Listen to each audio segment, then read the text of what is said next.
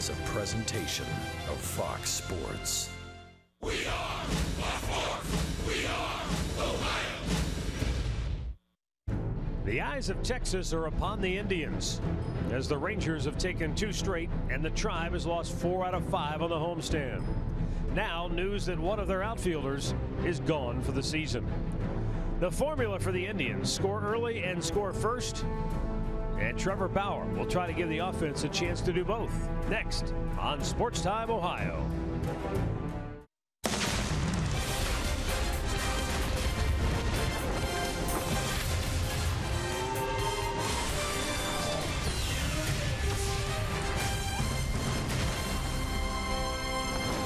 It is a beautiful baseball night in Ohio as the Cleveland Indians take on the Texas Rangers one more time here at Progressive Field. The Indians trying to avoid being swept at the hands of their rivals from the American League's Western Division. Hi again, everyone. Matt Underwood alongside Rick Manning. If that was all the Indians had to worry about going into tonight's game, then it would probably be a good day. But unfortunately, that's not the case. Marlon Byrd Word came down late this afternoon. He has been suspended for 162 games for a second positive test for using performance enhancing drugs. And in all likelihood, his career at age 38 is now over. Yeah, you would certainly think so because it would be halfway into next year before he would even be eligible to play. And like you said, it's the second time, and it's the second time that an Indians player has uh, been suspended this year. The Indians called up Tyler Naquin to take Byrd's spot on the roster, so he'll be in uniform tonight. Also, Tom Gorzelanny, left-hander up. Shawn Armstrong went back to AAA Columbus. Speaking of pitching, Trevor Bauer's on the hill tonight for the Indians. He's got to do a good job of keeping the Rangers off the board early. Well, what he did in his last start gave up three first-inning runs against Baltimore, but he really settled in, pitched nicely after that. Five shutout innings, and they came back to tie that game. He had a no decision, but in his career against the Texas Rangers, he's made two starts. He does not have a decision and a 461 ERA. But he will be matched up against a tough left-hander, Cole Hamels. He doesn't uh, have a win against the Indians, and he has an ERA just a tick under 10 because they've gotten to him the both times that they have faced him. And in his last start, the Pittsburgh Pirates had an idea of what to do with Cole Hamels because that was his first loss. He had uh, 12 consecutive wins as a Texas Ranger, and only the second time he has taken a loss in that uniform. Rick, since the start of last year, when Cole Hamels gets three runs of support or more, he is 17 and 2. So again, important for Bauer to try to keep the Rangers off the board early here tonight. Indians Rangers play by play coming up next. Plus, we'll check in with Andre Knott. He'll have the latest on the Marlon Byrd suspension story from inside the Indians clubhouse. That's straight ahead. Cleveland Indians baseball is brought to you by WB Mason, the official office supplier of the Cleveland Indians. By McDonald's, I'm loving it. And by your local Toyota dealers, visit buyatoyota.com. Toyota, let's go places.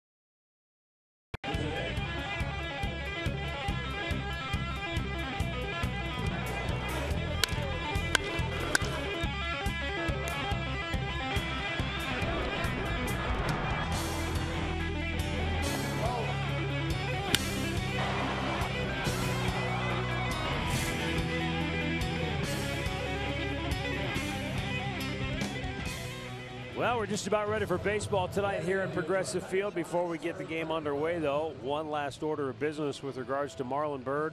How does it play in the clubhouse among his teammates? Let's go down to Andre Knott with more on that. Well, it's been a hectic day to say the least here at Progressive Field in dealing with the Marlon Byrd situation. Tonight we go inside the clubhouse with the reaction from the teammates of Marlon Byrd as well as the team's president and tonight's Hear Right Sounds of the Game. So last night, Marlon packed up his locker. Um, and started putting some of his things together. So after the game, Tito called Marlon just to check in what, what was going on. Uh, Marlon said he had some things going on and that he wanted to talk to Tito today. So he and Tito met this morning. Um, and then, you know, Marlon shared the news with Tito at that point. Marlon came in and talked to his teammates and the coaches and stood up in front of everybody and took responsibility and apologized and also basically told the guys that his career is over and this is not how he wanted it to end.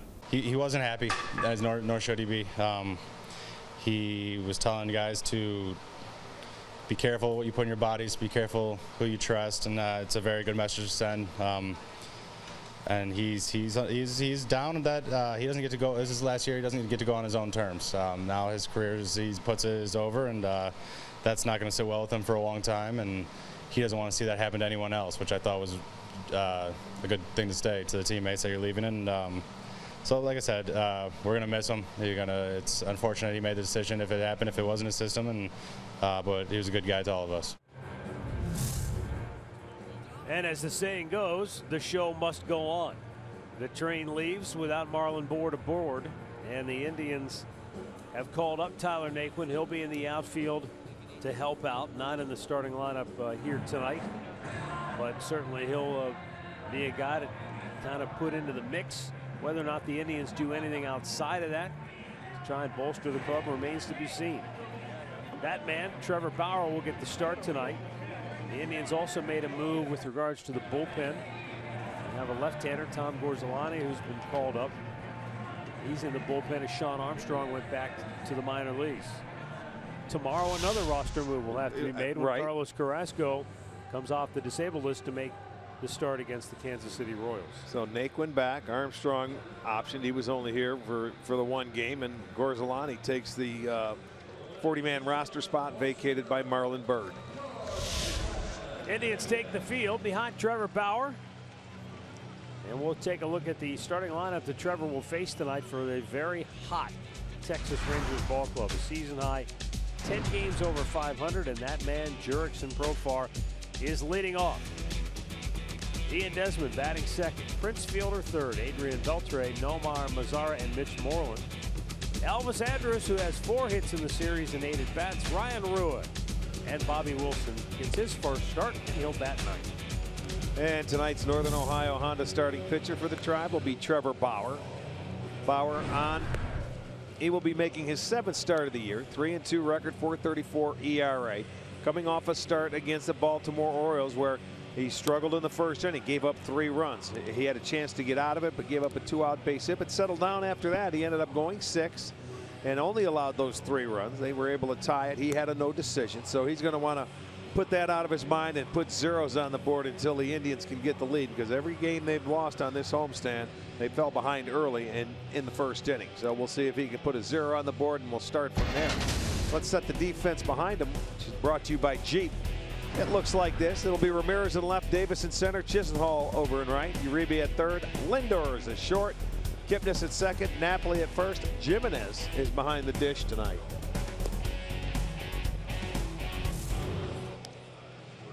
Tripp Gibson has the plate. The crew chief Hunter Wendelstedt is at first base. Manny Gonzalez at second. And Gabe Morales is down at third. Defensively for the Indians, Carlos Santana is in the lineup at first base, and Mike Napoli is now the DH. Don't know if that was a change or if the lineup that we received was incorrect, but that's the way they line up here tonight.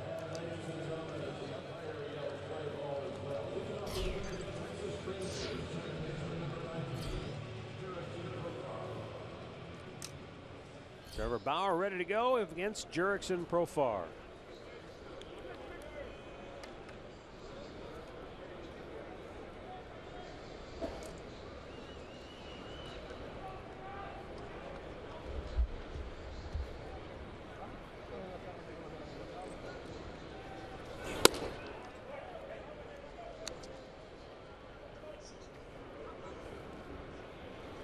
Seventy-two degrees, our game time temperature. Just a few stray clouds overhead, but otherwise just delightful.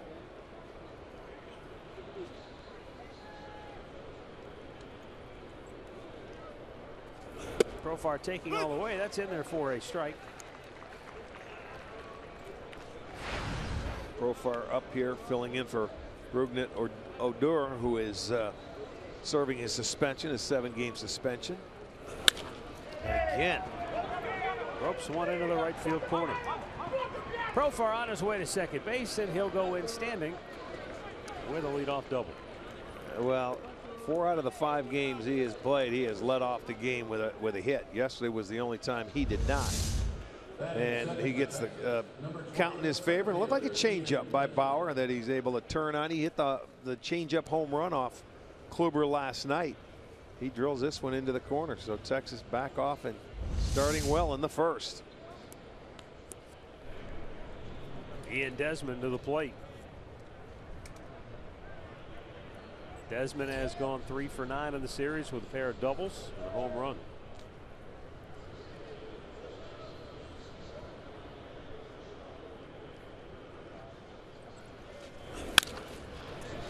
Hits it onto the right side. Kipnis will flag it down and throw him out. Profar moves to third with one away.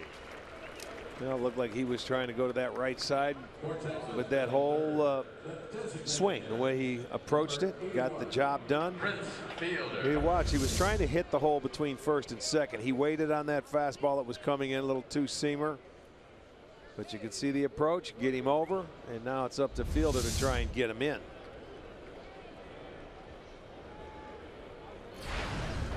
Prince Fielder has gone one for eight in the series.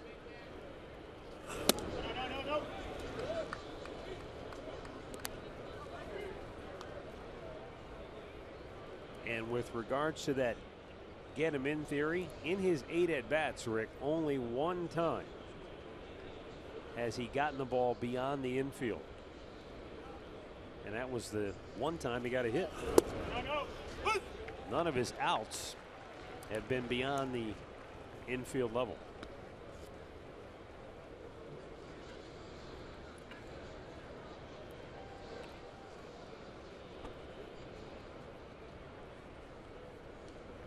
Well, they stayed tight that pitch. They didn't want to give him any swinging room. and that ball was bounced. camouflaged. It was right on the plate. yes, it was. If you're Gimenez, looking straight down, you can't see it. he couldn't. That's what he's laughing about there. How often do you see a hitter pointing? It's right here. Yeah. He's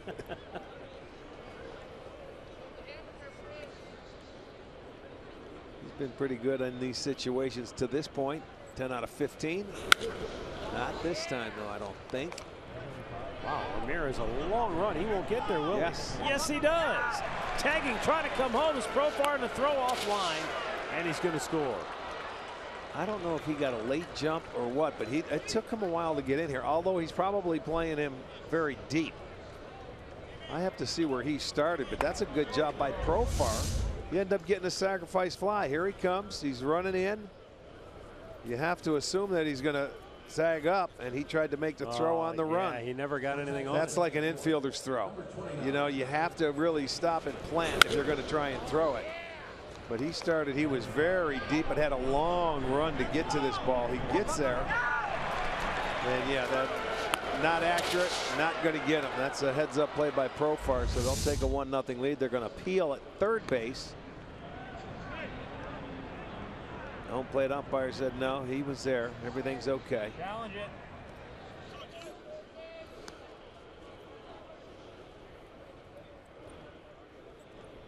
How'd you like that for a sacrifice fly? Nice if you can get it, right? Yeah. I guess. You see, he's going to run, and, you know, you have to think he's going to tag up. And I know he had a long run, and he's not really an outfielder, so that's all new for him. Uh, that, that's a different play. That's a weird play. But you have to gather yourself and maybe try that crow hop and make an accurate throw. Yeah. Not a throw on the run. That was an infielder's throw. That was a throw. It almost looked like, let me just get rid of it quickly and maybe he won't go. Right, right. Thinking that he won't. No, look, he's working out there. He works out there every day, but he, he's not a, a left fielder.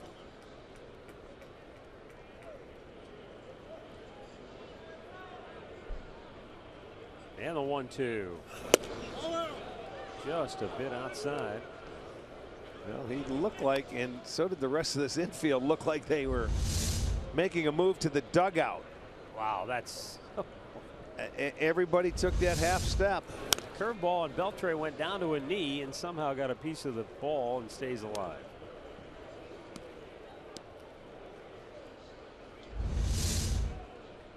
Yeah, we have seen him. That was a little too high to go to one night. He had to wait if he was going to hit it. The middle, Kipnis makes the play on the tricky hop but a good backhand play by Santana to end the inning. But the Rangers score first again. 1-0 Texas. The Indians are coming to bat.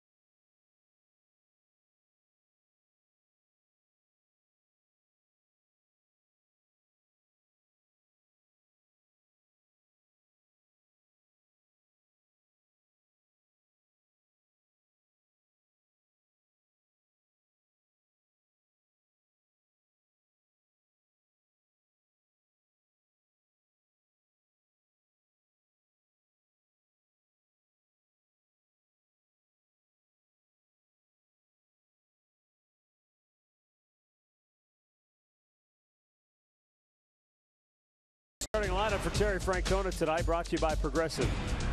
Rajay Davis leading it off. Jason Kipnis bats second. Francisco Lindor hitting third. Mike Napoli, who homered in the series, will hit cleanup. Then it's Carlos Santana. Jose Ramirez with three hits and has scored twice will bat sixth.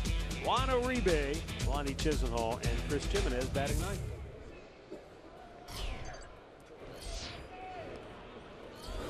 Cole Hamels' first pitch is in there for a strike. Cole Hamels has given up 12 home runs. Four of the home runs he has allowed have come on the first 15 pitches that he has thrown in a ball game. So, like a lot of pitchers, if you're going to get him, get him early. Well, let's check out uh, the Northern Ohio Hyundai starting pitcher, Cole Hamels, the 32-year-old left-hander, his 11th start this year. Five and one, and in his last start, he took the loss. It was a 9-1 defeat against the Pittsburgh Pirates. It snapped a career high 12 game winning streak for him. But Hamels is 3 0 on the road this year, a 163 ERA. And in his career against the Indians, 0 2 in two starts. So they've been able to handle him both times they faced him. A little bit low ball one to Jason Kipnis.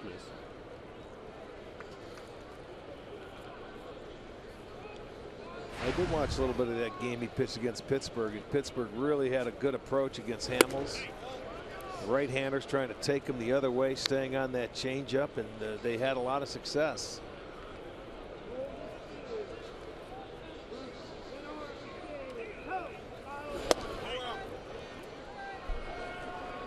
Within those first 15 pitches that he has thrown this year in a ball game,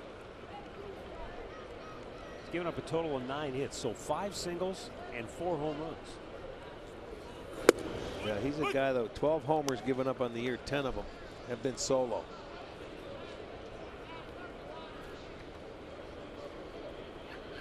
The 3 1. And that's low, ball four. Let's check out the uh, Rangers defense behind Hamels tonight. It looks like this. Brewer is in left field, Desmond in center. Mazara in right, Beltre at third, Andrus at short, Profar is at second, Moreland at first, Wilson doing the catching.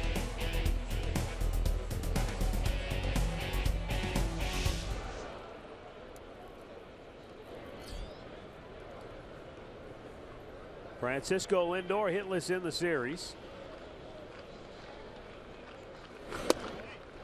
Takes the first pitch strike.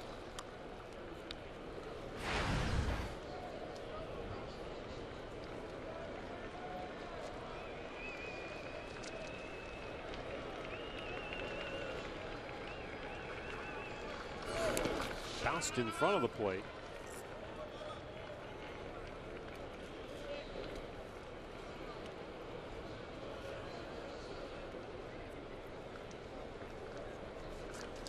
See that 400 batting average from this side of the plate for Lindor is fourth best in the league, trailing only Bogaerts, Kinsler, and Bradley. Low, two balls and a strike.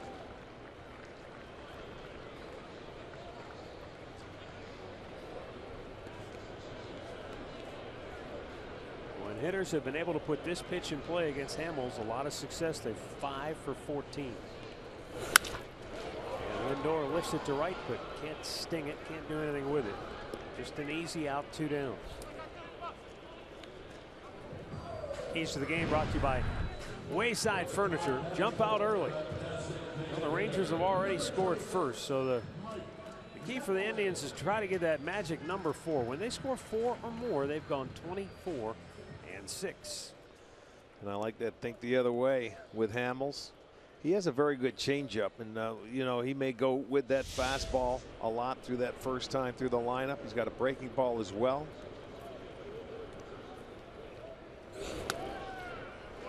Napoli a big swing and a miss 0 and 1.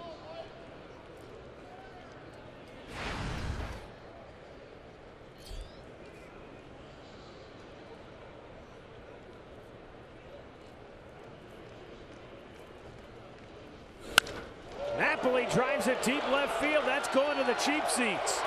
Mike Napoli with a booming two out two run homer puts the Indians on top two to one as he belts his 12th home run of the year and his second in the series. And just like that, the Indians come right back and answer in the bottom of the first inning. Well, the big man, Mike Napoli, got another pitch down in his zone that he likes. Pitch number 13. There it is. It looked like a, I don't know if that was a fastball or not, but it was. It was down in his zone, and Nap likes it down there, and he turns it around and gives the Indians a lead now, two to one.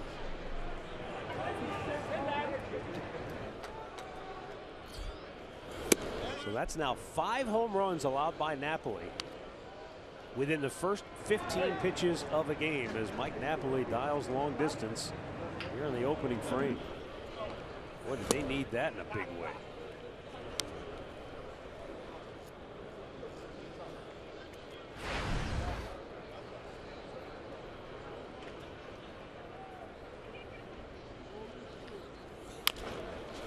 Tap foul, third base side. You know, we always talk about that first inning being a vulnerable spot for a starting pitcher. I never really thought about it in terms of the pitch count.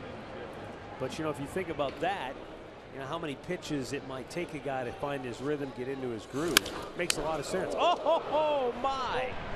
Hamels just threw his glove out and robbed Santana of a potential hit to end the inning. Big Mike Napoli rolling deep in the opening frame, and the Indians have a 2 to 1 lead.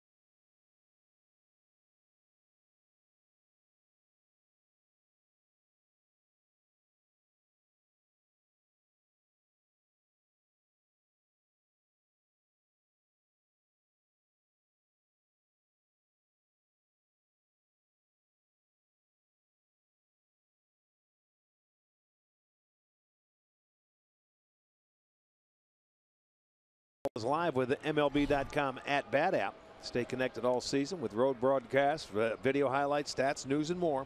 Download MLB.com at bat, the number one app for live baseball on your smartphone and tablet.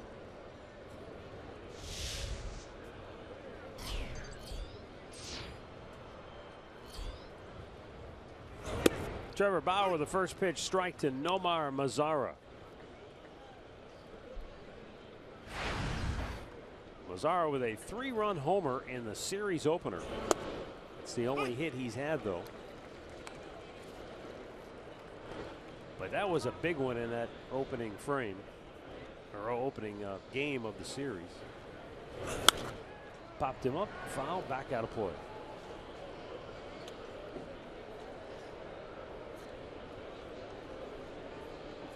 Well, if he would have chopped that home run up into about, he might have had about four or five hits in the series as long as that one was. Yes, he did. Third base umpire Gabe Morales agrees, and Trevor Bauer has a strikeout, one down. Good curveball. He came back and he expanded his zone, got him to chase after it down in front of the plate. Nice pick there by Gimenez. So Bauer gets his first strikeout. Big to get that leadoff man because the Rangers leadoff hitters have done some damage. They're 10 for 19 in the series with seven runs scored when they're leading off an inning. Yeah. Here's Mitch Moreland.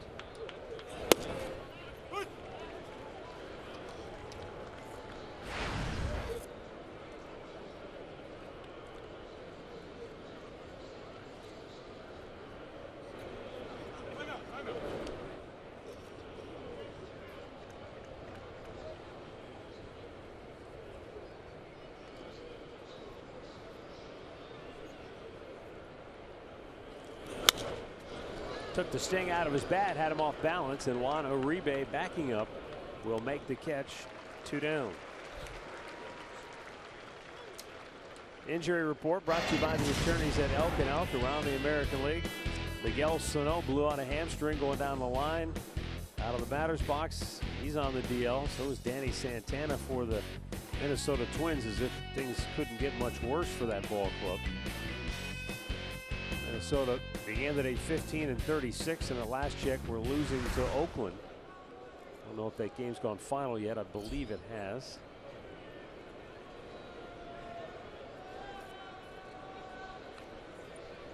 It is indeed a final, and that leaves Minnesota with the worst record in baseball currently by a half game over Atlanta.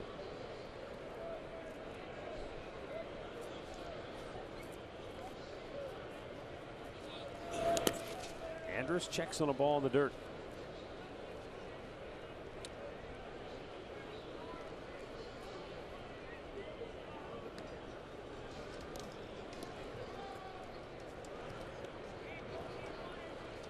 Two down here in the second inning. And a 1 1 count for Elvis Andrus. And he takes a breaking ball for a strike. White Sox beat the Mets earlier today 2 to 1. Chicago began the day a half game better than the Indians in the American League Central Division, so they'll stay in front of the tribe regardless. Kansas City owning the top spot in the AL Central, coming into play today with a five game win streak. Andrus out looking. Bauer strikes out a pair. Texas goes one, two, three. Indians lead it two to one.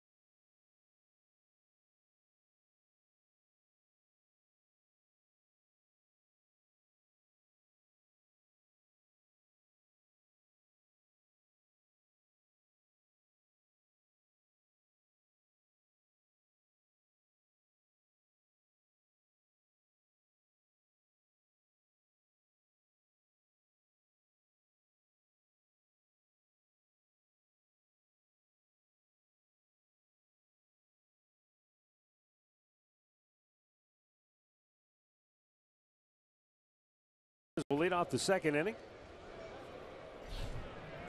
The home half for Cleveland. They lead it two to one.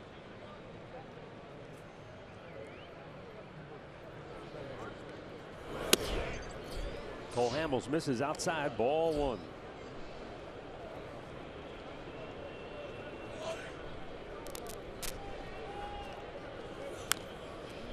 Foul off to the on deck circle.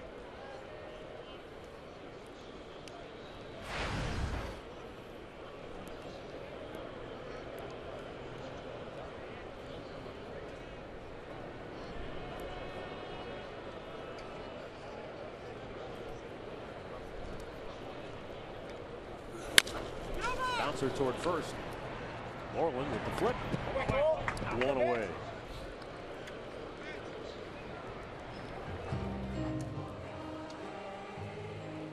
Our stat of the game is brought to you by Buick. Cole Hamels has made 22, 22 starts with the Rangers. And they have fared very well. The team record 17 and 5 when he's on the mound. I told you it was his second loss in his last start against Pittsburgh, but he's been pretty reliable since they acquired him from Philadelphia.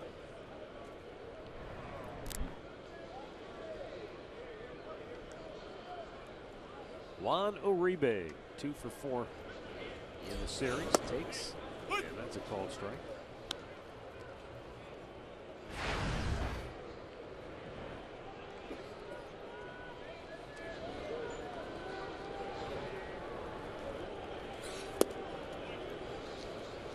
And he's in the hole now 0 2.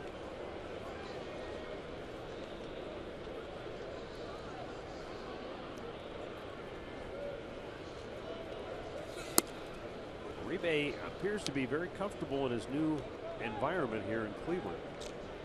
Batting 290 at home as opposed to 209 on the road. Now, the difference between 209 and 290 seems so vast. But when you look at the numbers, it's Yeah. a difference of four hits. Well, that's true. It's early in the year. When you go out, if you were to have a good series in a road town, that batting average could be right back up there in a hurry. That's why sometimes it's it's a little skewed. Yeah. You know, and there's times where he's hit balls right on the nose here, that uh, and on the road where he could be hitting better. Like that. Deep to center, but it's going to die in the middle of the warning track where Ian Desmond grabs it two away. Our great clip of the game from yesterday comes from Lonnie Chisenhall, who had three hits, including a big home run that got the Indians back in it. In all, he's four for five in the series. Have to hope that that is the kind of jump start that he needed that'll really get him onto a tear because the Indians desperately need some help offensively from that outfield position.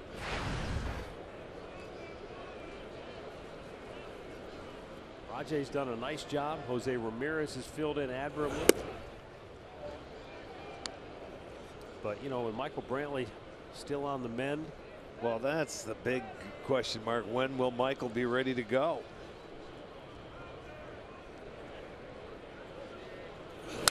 fouled right back. You know, here we are. We're starting June, June 1st. And still, we, we're not sure when.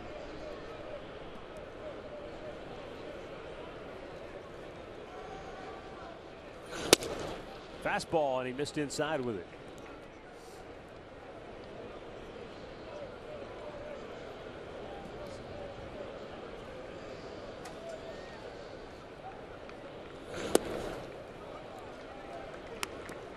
Good eye by Lonnie, and he, I don't know, Rick, if he's just seeing the ball better now, but he seems to be a little more patient at the plate, not chasing as many bad balls. You can tell by the way a hitter takes pitches. He took a couple of close ones down and in right there off the left-hander and didn't offer at him.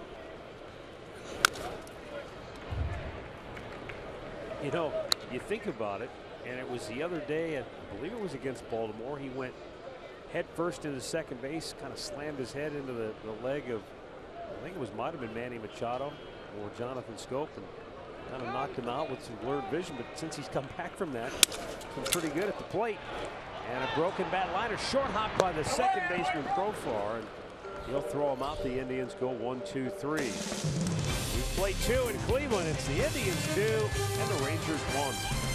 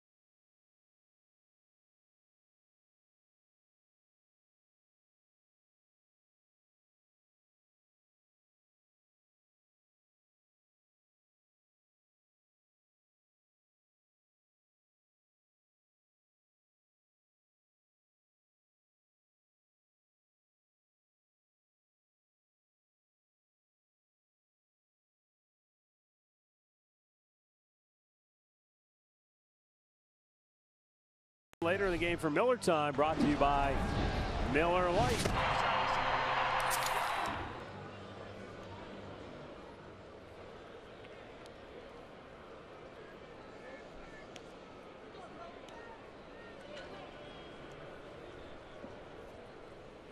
Ryan Rua leading off for Texas. And the pitch is up and away, ball one.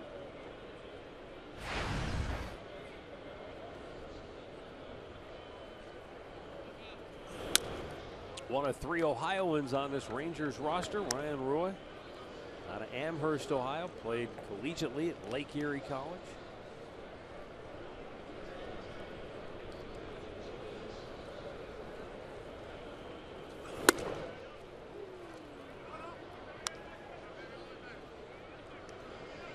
He was a 17th round pick back in 2011 and the first Lake Erie College product ever drafted. Well, it has to be a fun time for him coming to the ballpark here in Cleveland and playing in a big league game. Smash towards short. Lindor goes to a knee, dives down and makes the catch and throws him out. One away. See how quickly Lindor popped up. It's almost like a pop-up slide and turned the other way and got rid of it. Stop. It was just like a little pop-up slide. He came up quickly and had plenty of time, but he was thinking of that move before he even caught the ball, what he was going to do with it. Yeah. Tell you, watch the Lindor after he made the play with that mouth guard. Everybody in the NBA's got a mouth guard now, Yeah. too. That's all you see is those guys. That thing's in and out, in and out the whole game. Unless you're Steph Curry, then you shoot free throws with it dangling out of your mouth. I got a couple coming for us over the weekend. We're going to have them too. You say mouth guards or muzzles for us? Mouth guards. Bobby Wilson looks at a ball down low. Texas catcher getting his first action in the series.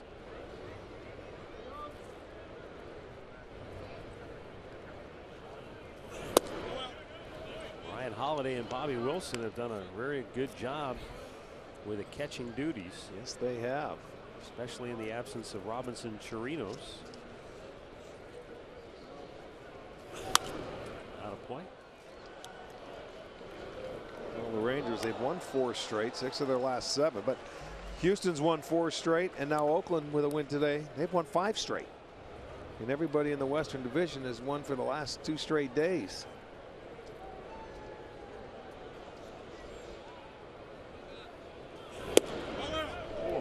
That's the second time today that Bauer's had a ball literally just off the outside corner.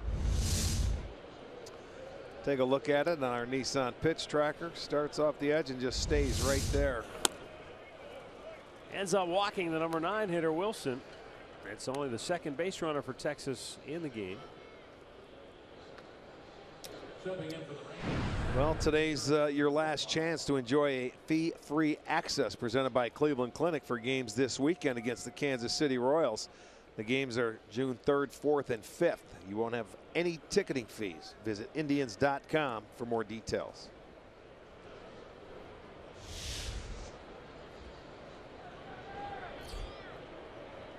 Here is Jurickson Profar, who led off the game with a double and scored the Rangers' lone run. Takes high ball one.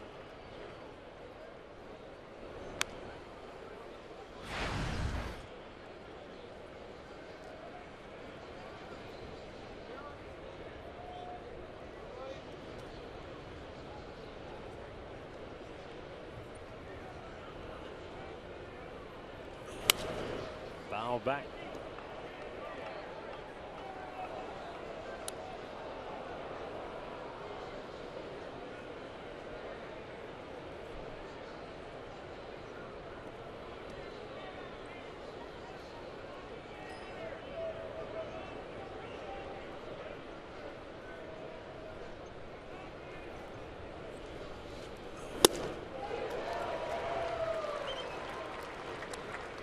Profar cut through a slider, I think.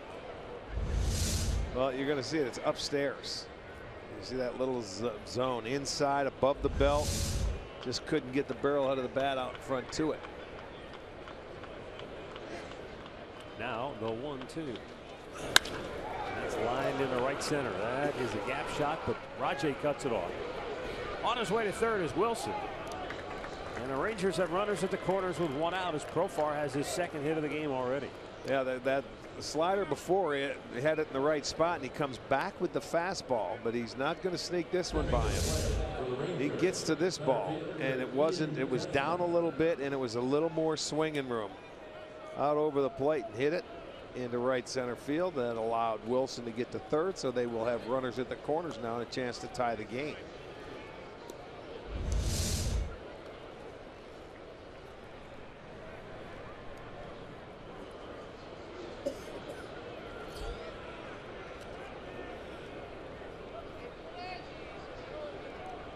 Desmond.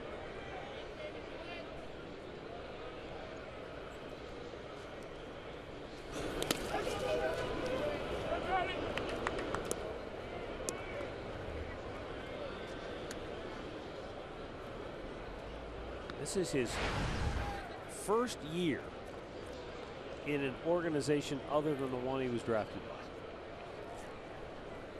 Well, that's the scary thing. He swung the bat very well, and he's been aggressive in this series. Think about when he gets used to this league, if he stays in it and gets an idea what these pitchers are like. Gets a little book on him. He, he can swing it. He attacks the baseball.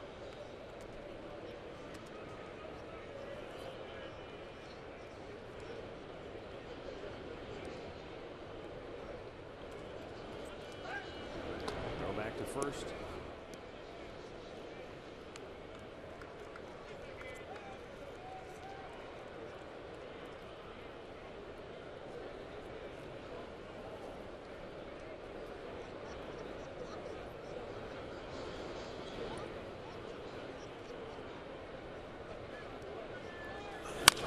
And a chopper up the middle. Lindor has it. Kicks the bag, throws to first, not in time, and the game is tied. The ball just took him too far away from second base to be able to turn. Yeah, you know what? And he had to come back at step. It was like an extra half a step away where he just couldn't step on it and throw. And that enabled uh, Desmond to beat it out. You see that one step, he's sliding, finally gets to it. And there you can see he beats it out and ties the ball game.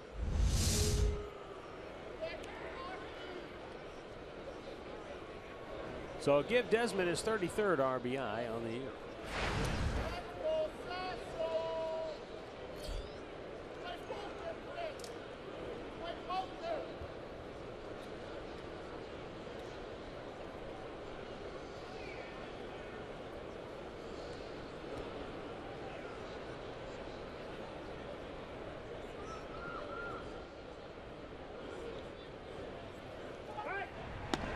close play as Desmond just did get back.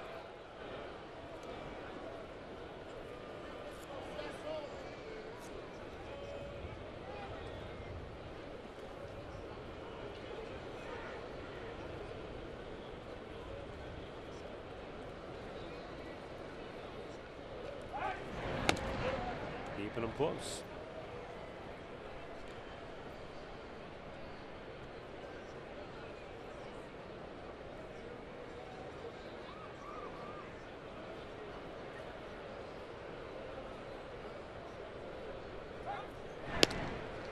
He's definitely going to keep an eye on Desmond, who leads the club with 10 stolen bases. Actually, doesn't have the lead. Who's got the lead here? It's uh, well, it'd help if I was looking at the right team. He does have the team lead with 10.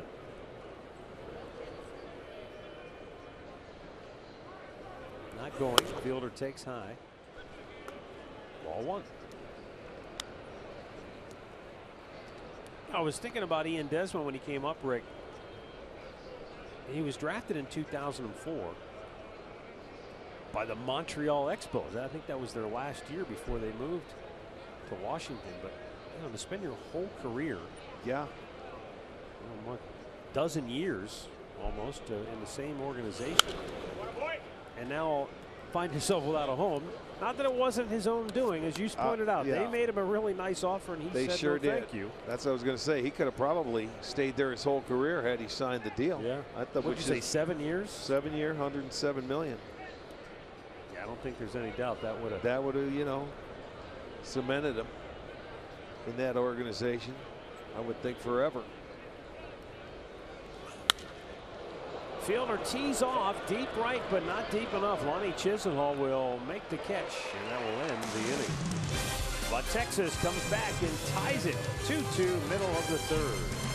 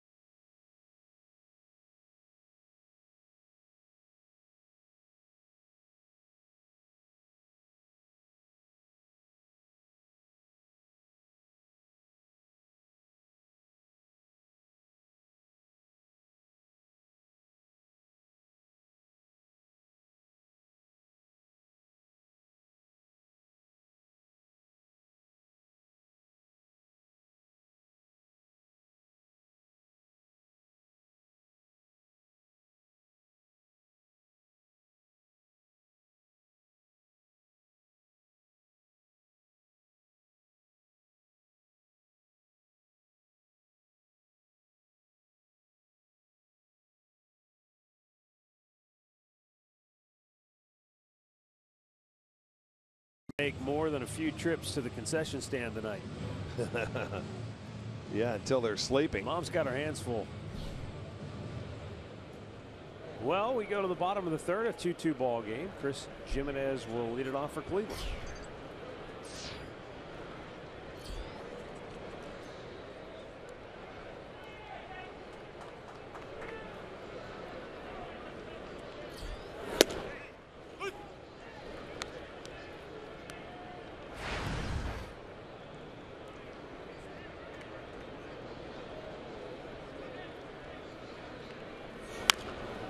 Pulls it foul.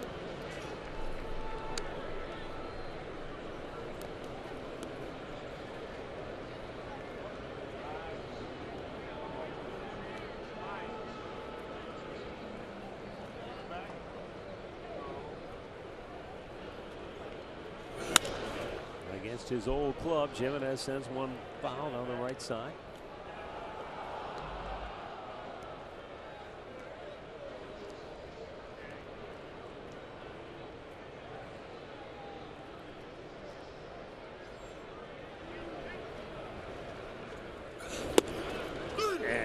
he's going to punch out here looking one down.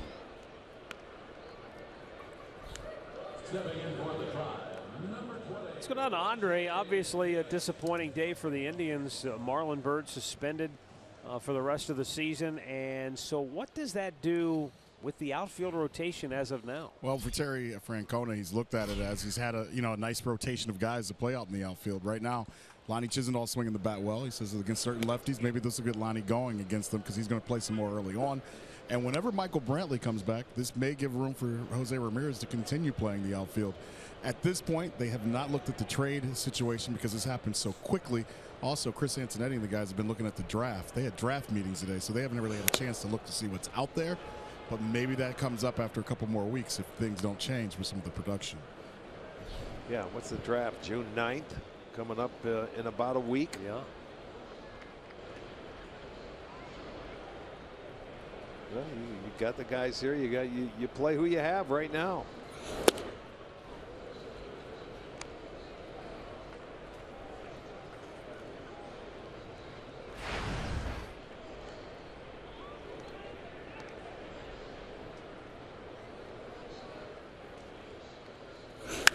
Oh, look out, folks. A screamer. That's what you call get up, getting out in front. Might have been a changeup there. wasn't Didn't see the velocity on that pitch, but he was way out in front.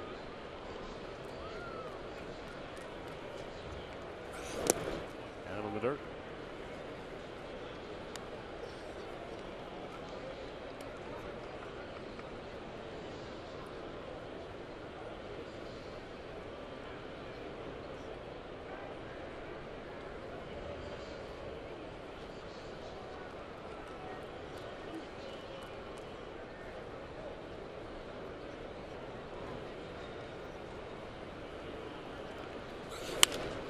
Pulls that foul. Again, Rajai seeing a steady diet of changeups.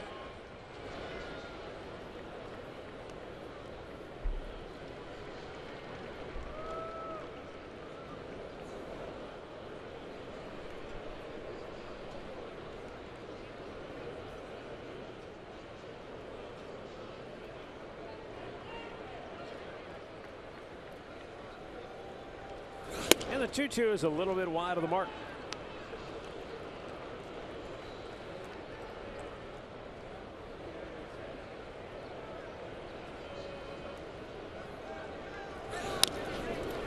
Showed him a fastball. 2-2 comes back on the 3-2 with another changeup. He's not giving in here.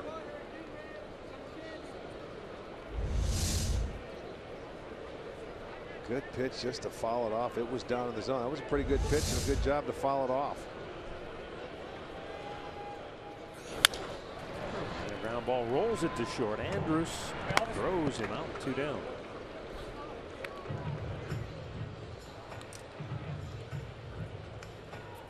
Here's our Quicken Loans Rocket Arms and the Texas Rangers starters over their last 11 games, 9 and 2 with a 258 ERA. That's how you get on a roll and get to 10 games over 500. Yeah. Especially with the offense that they have. Well, their starters in the American League are leading the league. They're 22 and 10 with a 338 for the season.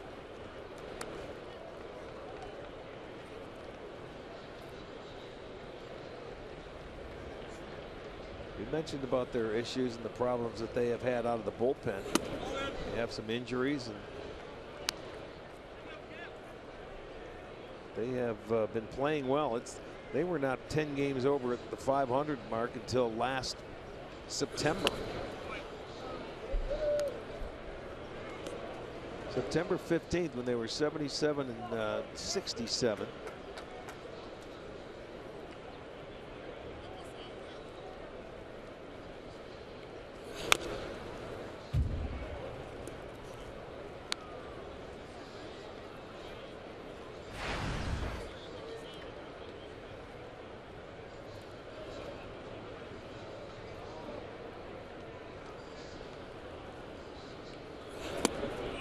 Jason Kipnis down swinging, and the Indians go one, two, three. Since the Napoli homer, Hamels has retired seven straight.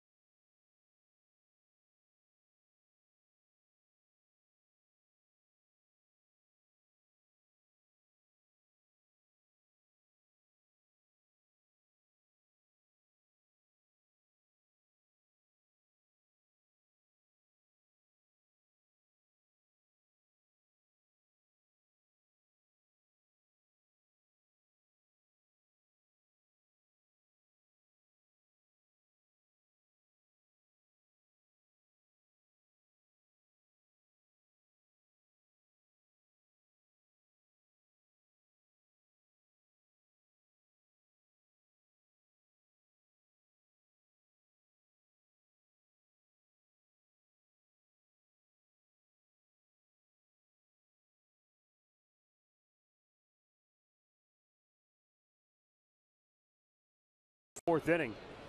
And Adrian Beltre will lead it off for the Rangers.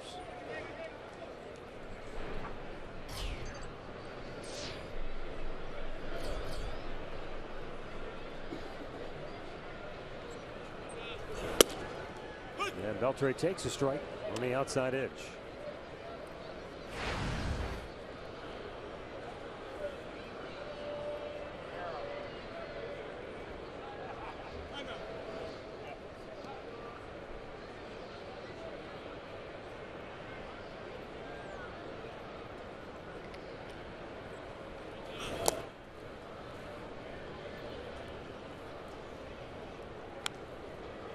That's a pitch that uh, these two, between Gimenez and Bauer, they've been throwing a lot. That changeup. Not afraid to use it first pitch. He just doubled up there. The sixth straight time that Gimenez has caught Trevor Bauer in a start.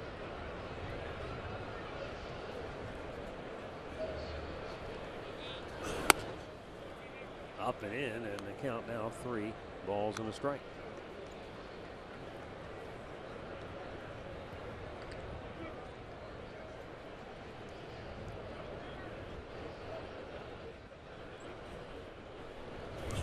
Good fastball right at the knees. And not so fast, Beltre. Yeah, beautifully located at the knees, outside edge. It's perfect. Just a perfect pitch right there. That was a little high and inside. Second walk issued by Bauer. And the Rangers get their leadoff man aboard for the second time tonight. T-Mobile game Greater coverage of baseball. Mookie Betts. Three home runs from the leadoff spot.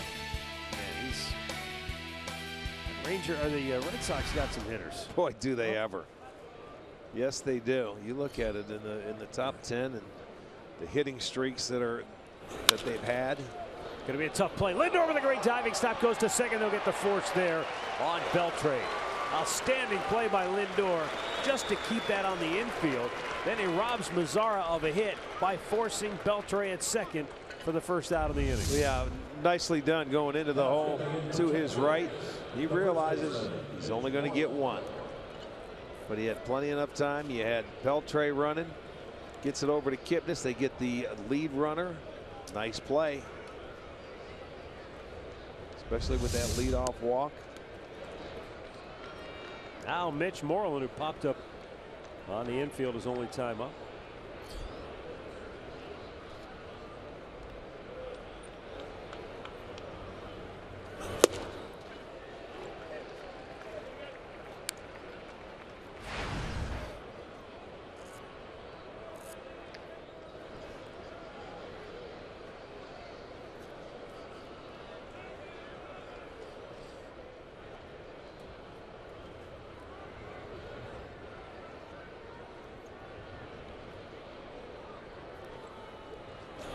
And that's going to sail high.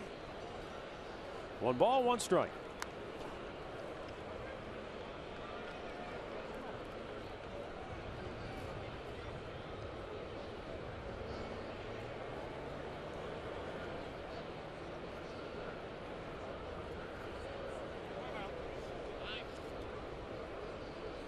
It's about the third or fourth guy that has called timeout when Bauer's getting ready to get into the stretch.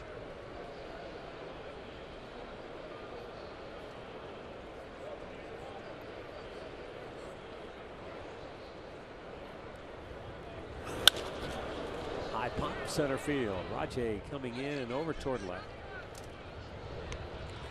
Two away. Well, you can bring the heat this weekend. The Kansas City Royals will be in town, and on Friday you can enjoy dollar dogs, $2 Miller Lite cans, fireworks, and a Subway sunglasses. And on Saturday, 12,500 fans will get a 76 throwback jersey, post-game fireworks, and also pay tribute to the late David Bowie, Glenn Frey, and Prince. Visit Indians.com for your tickets.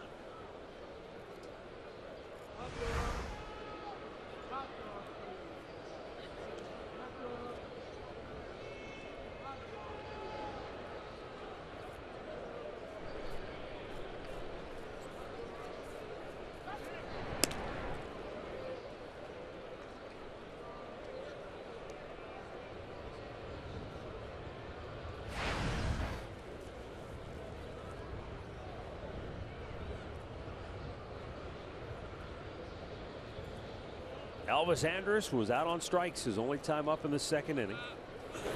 And he smashes one just foul. Third base side.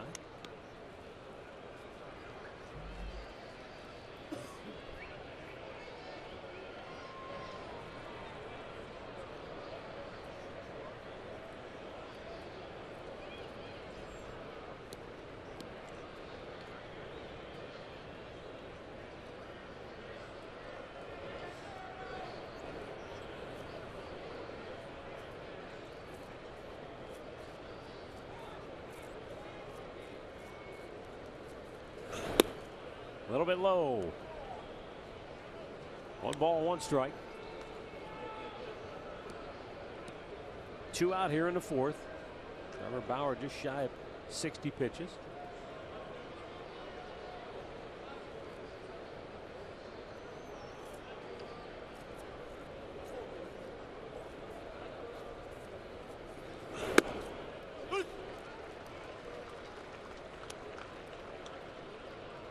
Puts In the hole one and two. He got him looking his first time up.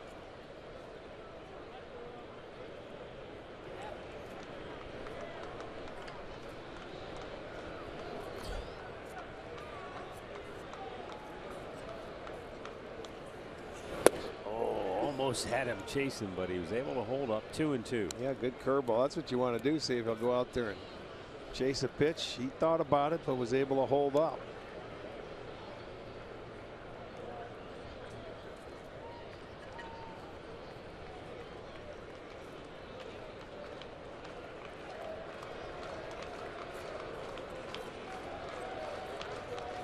Mazara takes off on the 2 2, and Andrus swings and misses to end the inning.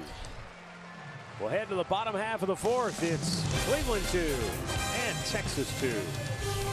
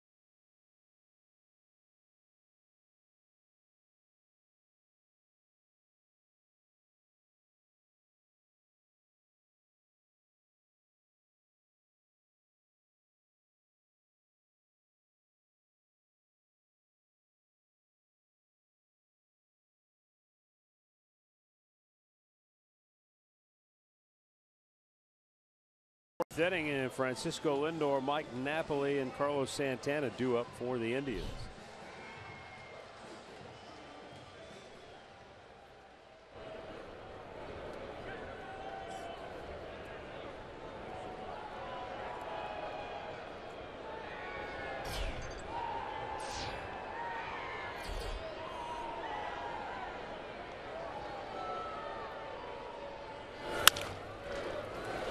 Bounced up the middle, but cut off by the second baseman Profar, and Lindor retired. One away. Down to Andre. What do you got on Mike Napoli? Well, you know, we all know he's a former catcher, and we talk all the time about thinking through the process. And he says and tells me sometimes I just overthink it when I'm at the plate. It goes back to being a catcher. So he goes, you know what? When I'm hitting best, I stop thinking and just react. But he says he's always has that catcher's mindset with him, and it'll never go away. And he thinks about it when he's playing defense and when he's hitting. But he's told himself, when I'm in the box, stop being a catcher, just hit. Yeah, isn't that the truth? Sometimes, you know, you just go up there and see and react, and good things can happen. Well, since uh, he hit his home run back in the first, Cole Hamels has really settled down. He's thrown 39 pitches, 29 strikes, and retired the last eight. So he's been on fire since that the ball Napoli hit out of here.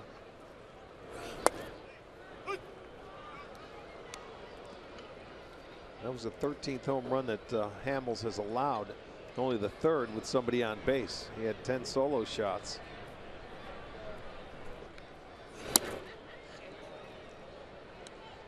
Between pitches 46 and 60, he's allowed three home runs. So you figure that's like that second time through the order. You get kind of the middle guys like Napoli do up. And then the other weak spot he has, like a lot of pitchers, I'm sure, pitches 76 to 90 when you're just kind of maybe starting to run out of gas at the end. Yeah. Or they've seen you a couple times and maybe sit on a pitch and get it. Napoli strikes out. That's three Ks now for Cole Hamels. Our Yellowwood bringing the lumber. Let's go back to that home run he hit in first. Well, and that was uh, a big deal because they were just on the board, scored one, and uh, the Indians come right back and respond. They put two on the board in the first, and they took the momentum back. But it's pitchers have been dealing since, really.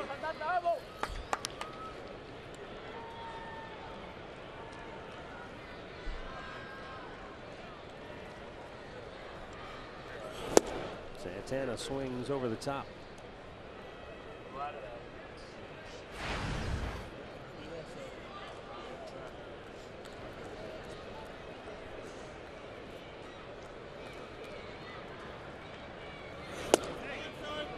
Just missed inside.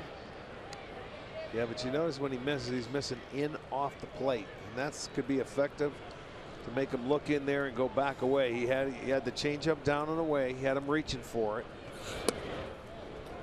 Little Same bit pitch. low.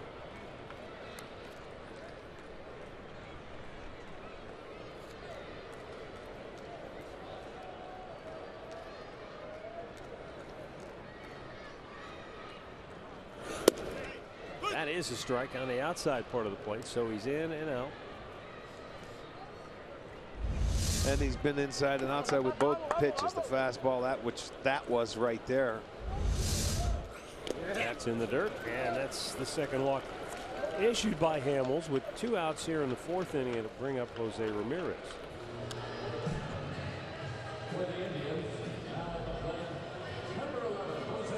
Jose Ramirez a ground out his first time up.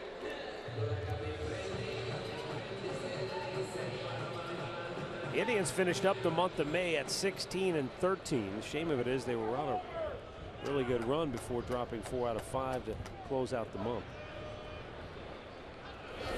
Texas finishing the month of May 17 and 11.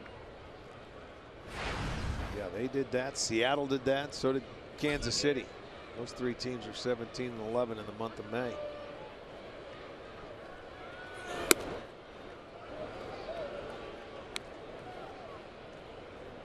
But now we get to June. Turn the page. June 1st. Weather starting to heat up. The 2 0 pitch. A little bit outside. And after this homestand, the Indians will make their first West Coast swing.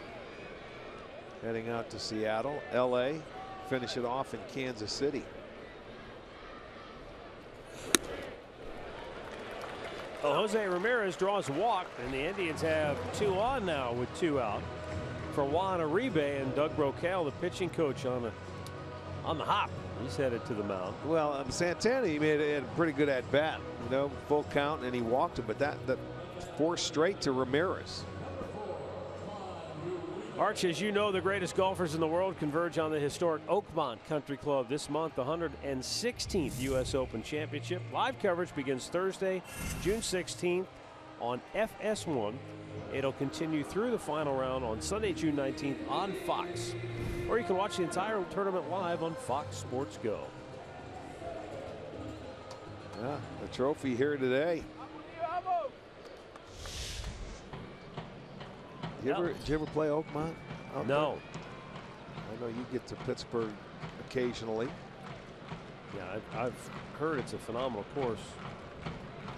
Tight, old school, long rough, a lot of trees. No, I don't think there's any water to speak of. I know at one time I heard stories that Mario Lemieux was a single-digit handicap member at Oakmont. Oh, yeah. Well, it doesn't surprise you, does he, the way he played hockey? No. Some of those hockey players are tremendous golfers. Uribe with a mighty hack, but he came up empty. And it is one and one.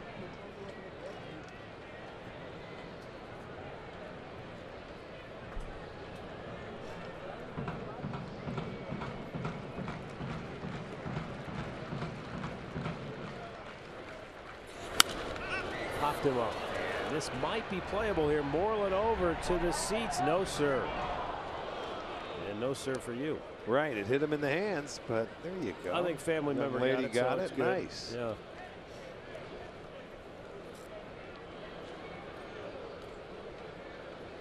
Got a T-shirt and a ball. Well, it's a pretty that- good day. Yes, it is. It's a very good day. Made her day a lot of fun coming to the ballpark tonight. All smiles.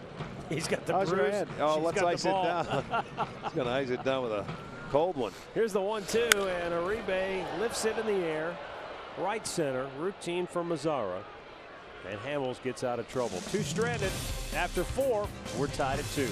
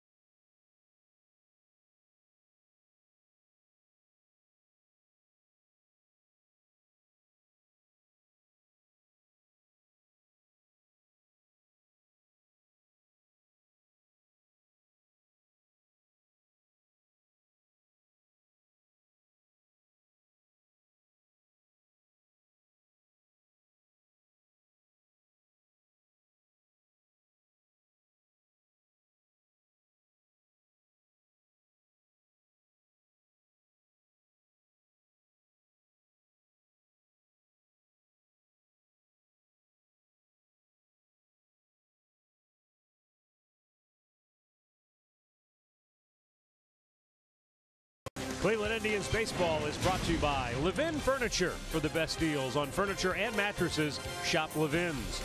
By your Northern Ohio Honda dealers. And by the Cleveland Clinic. Access anytime, anywhere.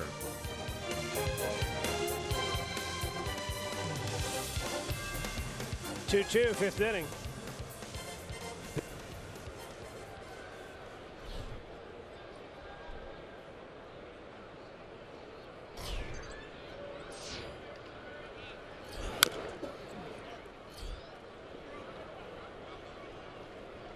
Starts. I don't know if they had a rain delay in Baltimore or just a little bit later start. Oh yeah, because we started an hour earlier. Right. Mookie Betts homer to lead off the game. Did he? Oh, after three, after three yesterday. How about that?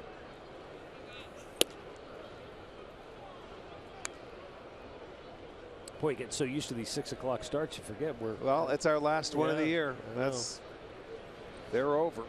The one-one to Ryan Rua. Man, that's a little bit high. Two and one.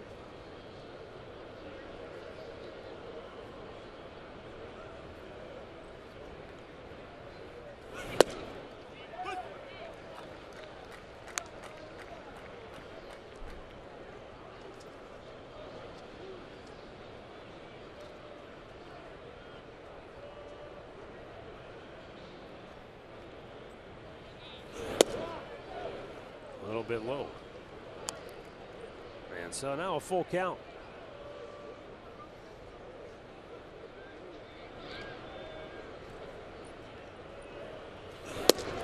Strike three called. Bauer rings him up.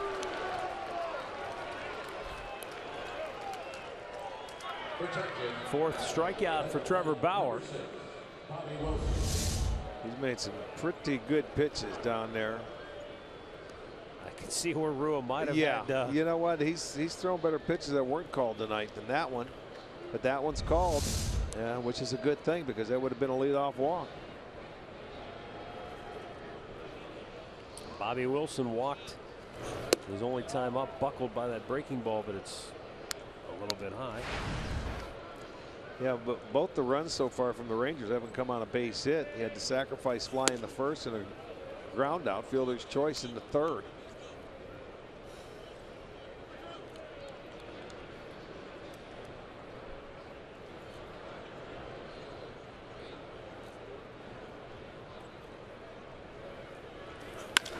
Two zero line drive right out of Rajai Davis. Two away. All right, we want to send uh, Bill and Rita Gorencic congratulations. They're from Brooklyn, 59th anniversary they are celebrating. And congratulations to Fabiola and Matt Cole on the birth of their first child this morning. Miles Cole was born. So congratulations to Yes, the Coles. indeed.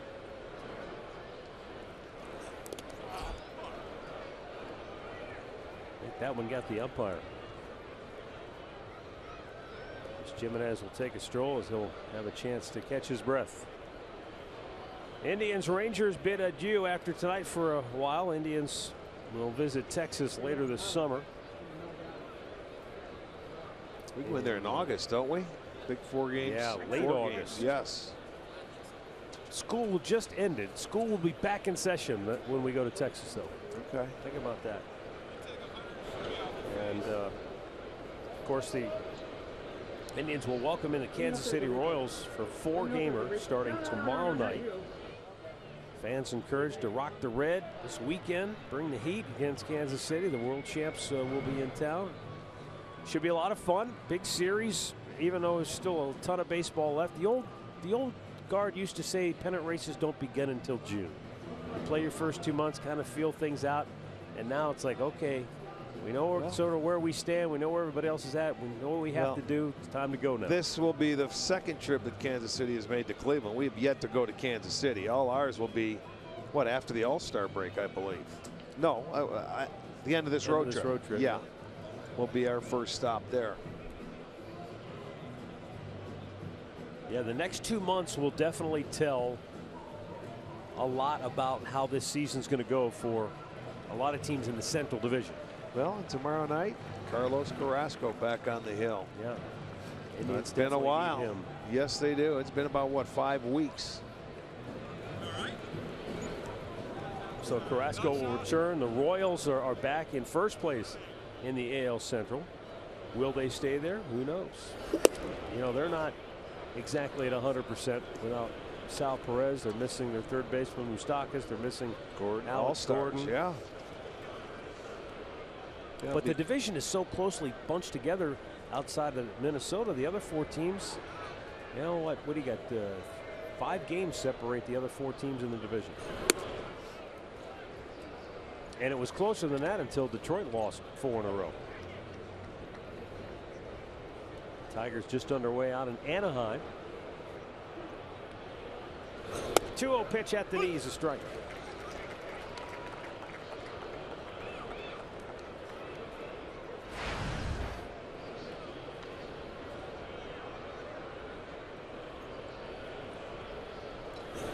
And a foul right back. Profar doubled and scored in the first. And he singled in the third inning. That led to the second run of the game for the Rangers because he pushed Bobby Wilson to third base. He would score on a fielder's choice by Ian Desmond. But Bauer's done a nice job. The 2 2. Chop foul.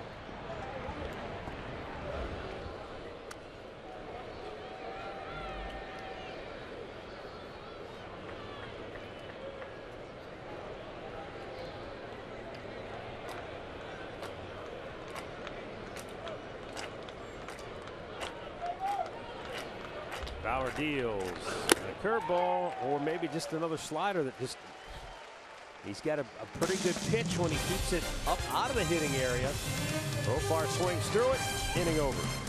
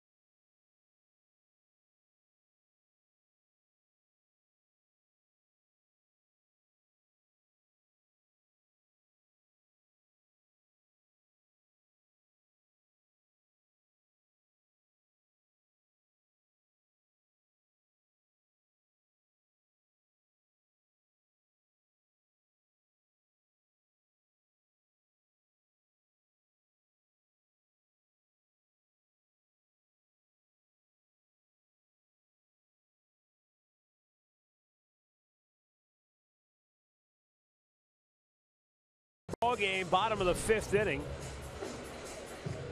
And for Cleveland, Lonnie Chisenhall, Chris Gimenez, and Rajai Davis do up. Cole Hamels has allowed one hit. That one hit left the yard for a two-run homer in the first. Lonnie Chisenhall fouling that first pitch off. He was trying to get out and get after it.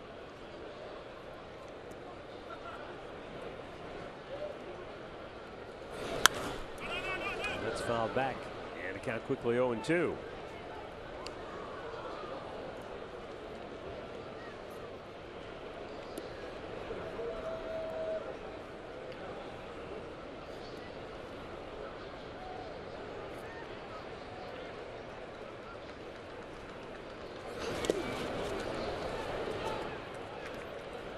Rick, can you explain the difference? Not that he's any easier to hit, but for a left-handed hitter facing a Cole Hamels versus, say, a Chris Sale.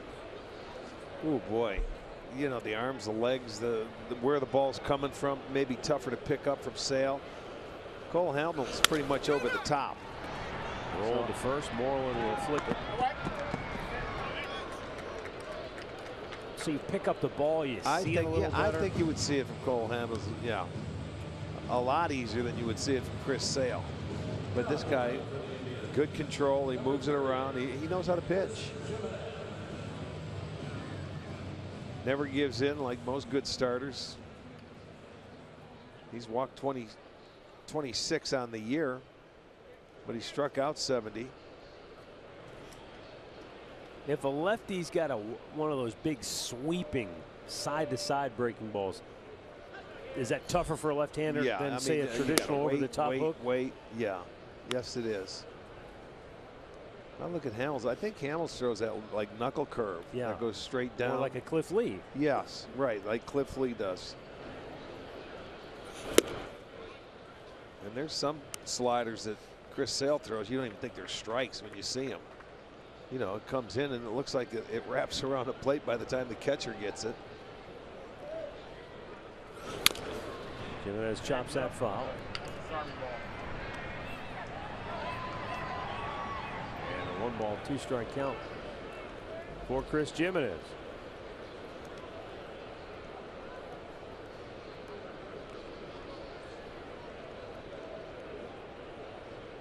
He's showing everybody the ball. Yeah. Just missed inside.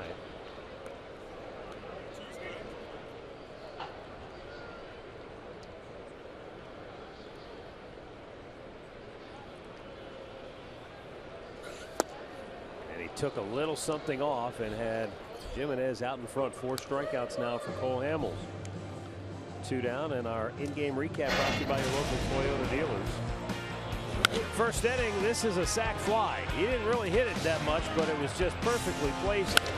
And the Rangers took the lead, but in the bottom of the first, Mike Napoli with a two-run homer to put the Indians in front. And then on a fielder's choice, Lindor just couldn't quite turn the double play, and that enabled the Rangers to tie it up, and that's where we stand.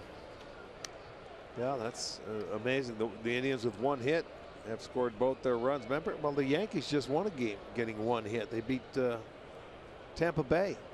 That's right. Uh, with one hit, two to one. The guy had a no hitter for a while. He only Right. hit, gave up all game. Grab, bare hand grab, and it's close, but Davis going to beat it out at first base. Moreland was trying to dig it out. Andrus made a terrific play to even make it close. Yeah, he did. And even if Moreland picks it, they may have had him. But, you know, the speed of Davis going down the line forces that defender. He knows he can't let it go into his glove. He fields it clean. And that had a lot of spin to it. But he throws it. No, he would have been safe anyway, so it didn't matter. So that's the second hit for the tribe. Never really had a good grip because I think that ball was spinning when he went to catch it. He knew he had to get rid of it in a hurry because of the speed of Davis.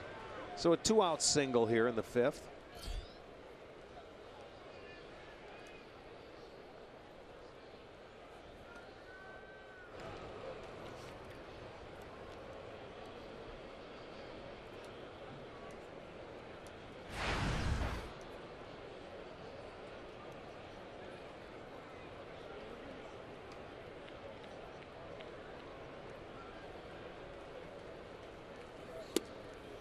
See if Rajai has any kind of read on Hamels' move, if he can unnerve him a little bit.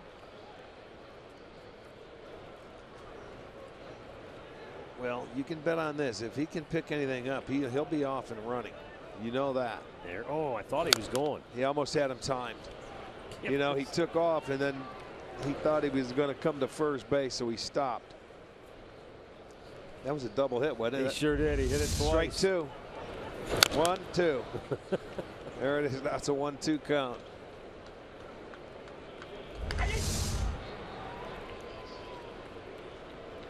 Opposition four for five in stealing bases against Hamels, so I think he will take off. Rajai's 11 out of 14 on the year.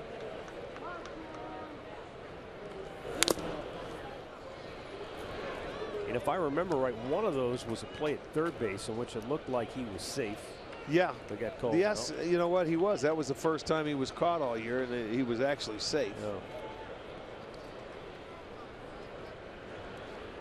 He's been very good.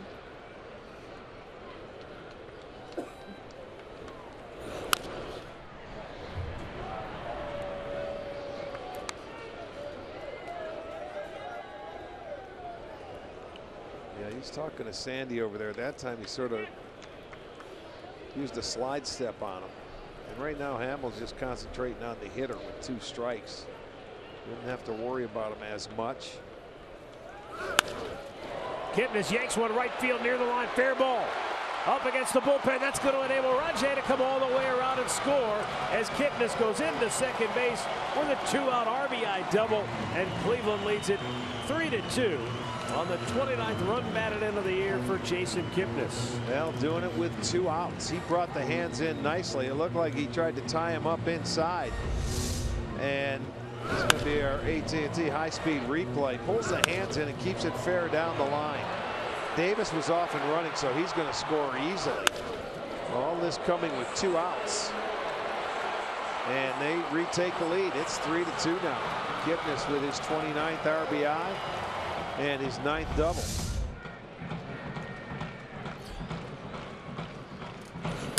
Lindor shoots it to third. Beltre will have a routine play and the inning is over.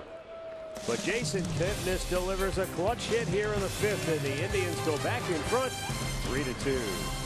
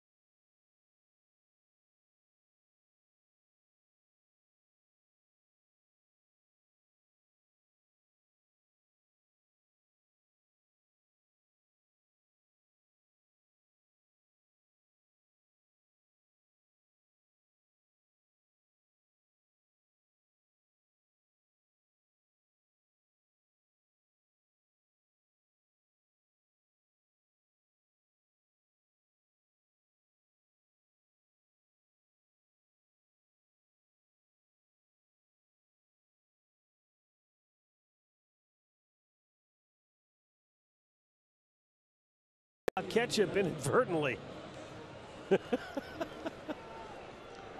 First he goes deep. Then he plays a hand and who wins the hot dog race? he screened him. That's an offensive foul.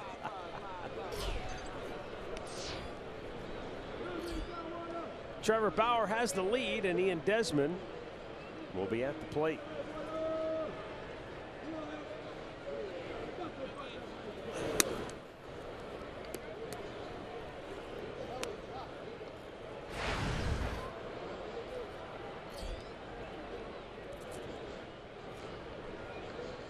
Desmond moved a runner over in his first at bat. He was able to come around and score in his second at bat. He drove in the run on a ground out up the middle. Almost a double play, but Lindor couldn't get back to second, so he was credited with an RBI. That's the only two runs that Texas has today.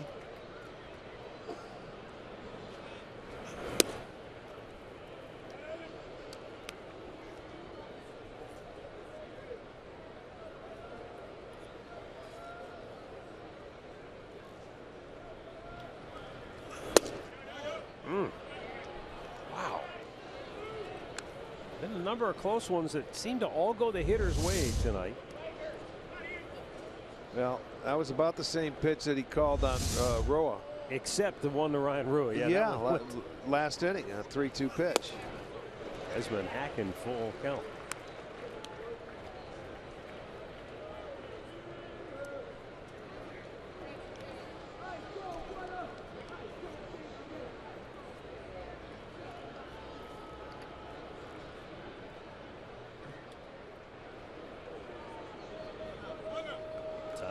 One of the best compliments everyone ever gave Ian Desmond came from Frank Robinson. And the fact that it came from Frank Robinson in and of itself is pretty good. maybe it's because Frank mellowed in his later years, he wasn't probably prone to giving compliments when he managed you in the mid 70s. But when he when he was around Ian Desmond for the first time, he said I, he has better instincts than guys I've seen who have played for 20 years. He's not overwhelmed by situations. He doesn't panic. And when you ask him a question, gives you a quick answer. He doesn't stare at you and say, mm, let me think about yeah, that for a right. minute. That was one of the things that really impressed Robinson about Desmond as he takes the walk to open up this sixth inning for the Nationals. Now at the plate for Texas, number 84. Well, here's Prince Fielder.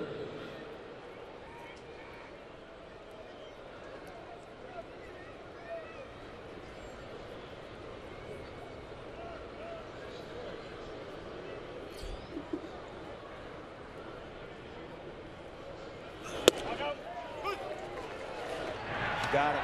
And the call is safe. It was very close. You could see even Desmond sort of exhaling as if to say, Whew. Yeah, he thought he had him out there, and by the time Gimenez could get the ball back, he was able to get his hand back to the base. You know, he thought it was going into the dirt, and then he says, uh-oh, I better get back, and he goes to the far side of the bag where Santana has to really grab it and then come back and try and reach him.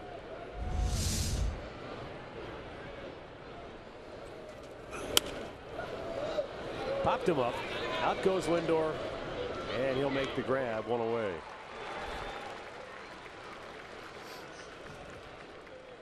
Baseball returns Saturday with a game you can only see on FS1 when the Rays take on the Twins at 3:30 Eastern. Then it's baseball night in America. Indians Royals at 7 on your local Fox affiliate, or you can watch it live on Fox Sports Go.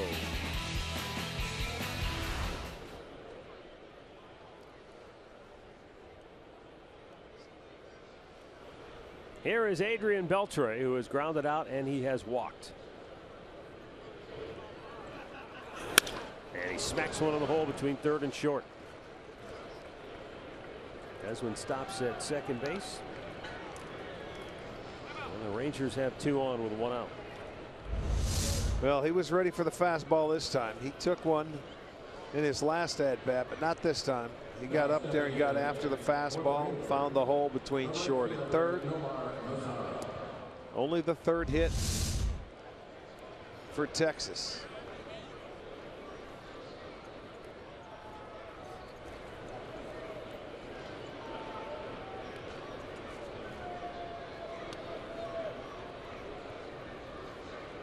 One more birthday wish tonight to Johnny Salvo, celebrating her fourth birthday.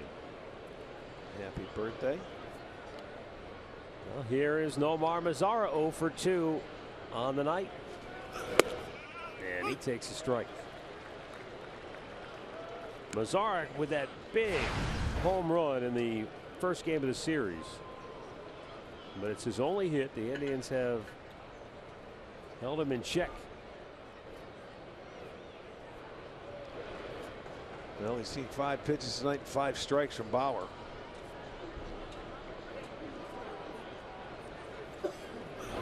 Yesterday, Corey Kluber cost him two bats.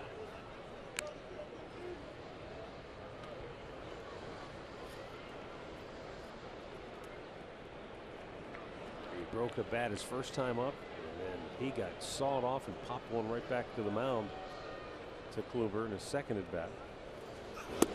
And then you remember later in the game, I think it was Mazara was the one that hit that ball. That it it landed just behind second base and had that funny spin to it, and Lindor made a nice play staying with it. Oh yes, oh, we out. thought it hit second base. Yeah.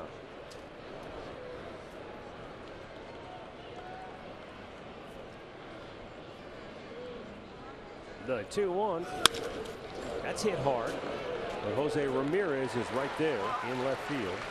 Two down.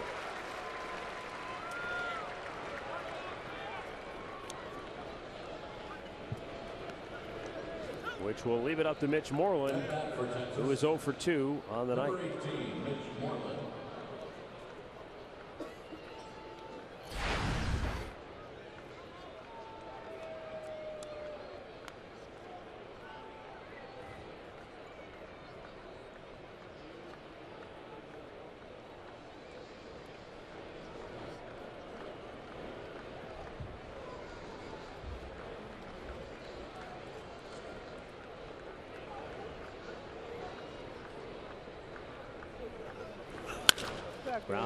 Toward first. Santana has it.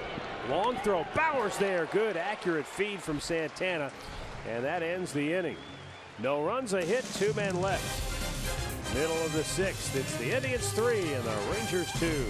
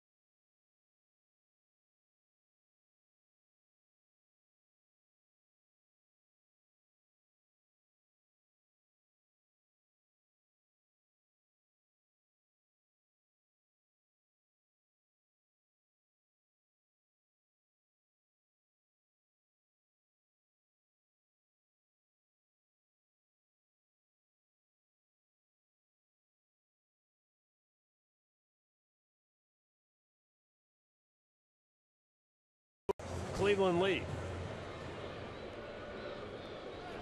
And the boys from the Lone Star State. We'll watch Mike Napoli lead off for Cleveland here in the bottom half of the sixth.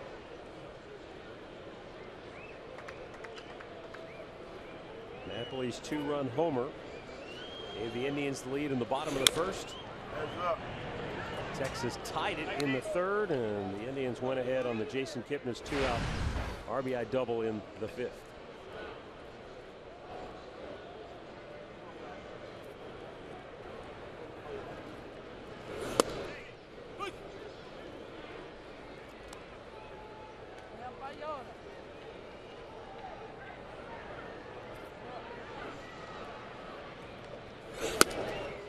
Chase that one up high, and Hamels puts him away his fifth strikeout tonight.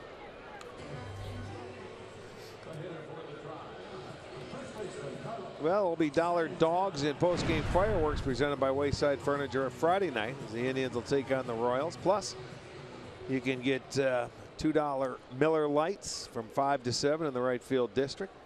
And 10,000 fans will get sunglasses courtesy of Subway.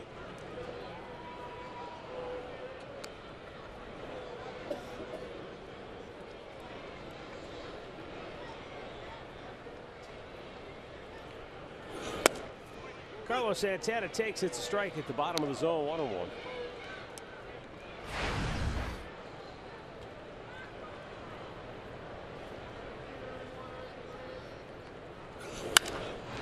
Bouncer beats the shift. How about that? Yeah, they're playing the three over on the left side, so why not? You can see how hard how hard you have to hit the ball, and you can still get a base hit. Moreland was way off the first baseline, but it was a breaking ball. Just stay on it. It's an easy base hit for Santana. Well, you made the mention uh, early in the game that one of our keys think the other way against Hamels for the right-handed hitters, especially. It's a good approach. Well, I know what that's what the, the Pittsburgh Pirates did when they faced him in his last start. He went the shortest start since he's been a Texas Ranger. They had a very nice, but you know, they'd faced him before. You know, being in the National League. Jose Ramirez yanks one deep left. That's off the wall. Played perfectly, though, by Rua, although he did fumble it. Stopping at third is Santana. Into second is Ramirez. I think if he doesn't fumble that ball, he'll hold Ramirez and keep the double play in check. It looked initially as though he was in perfect position to take the carom, but that one little bobble cost him.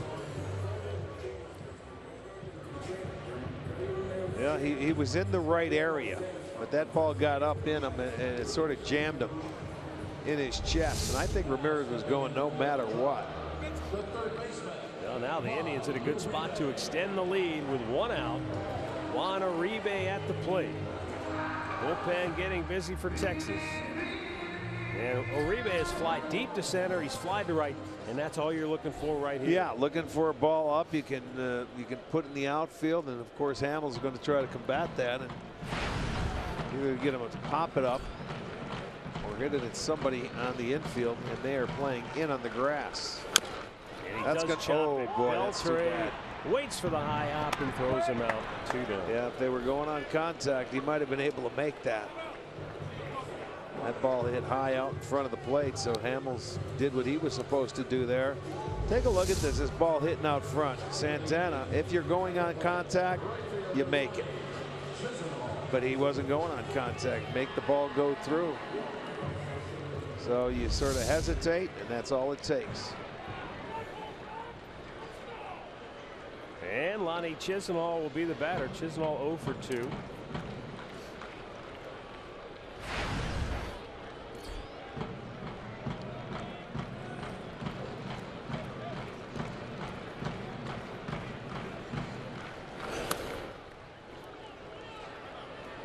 Ball in the dirt. You know, I was talking before, Rick, about Ian Desmond, the center fielder, about how you know, he had played his whole career in the Nationals organization before this year becoming a free agent. Cole Hamels very similar. He was drafted in 02 out of high school by the Phillies, spent his whole career in that organization until last year when he was traded to Texas. Although I'm sure mentally he had prepared himself because there were rumors about Hamels being traded for a long time Yes, there was. that. Yeah. Yeah, the, the, the deadline trade, someone's going to run a pitcher.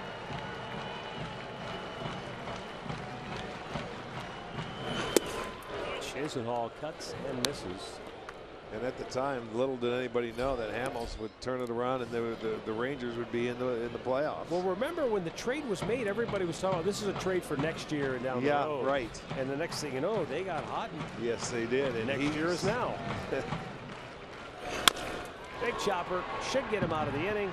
Andrus fires, and Hamels gets out of trouble. Keeps it a one-run game through six.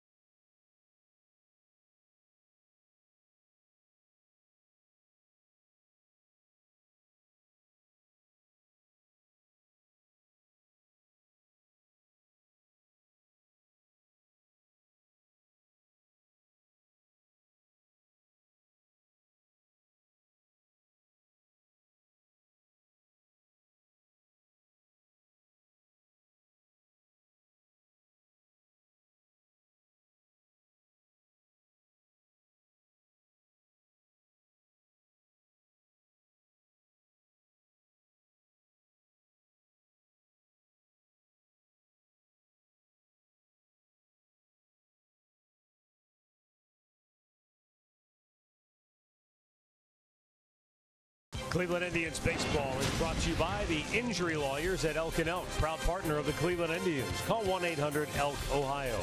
By Ford, built Ford tough. And by Subway, fresh is what we do.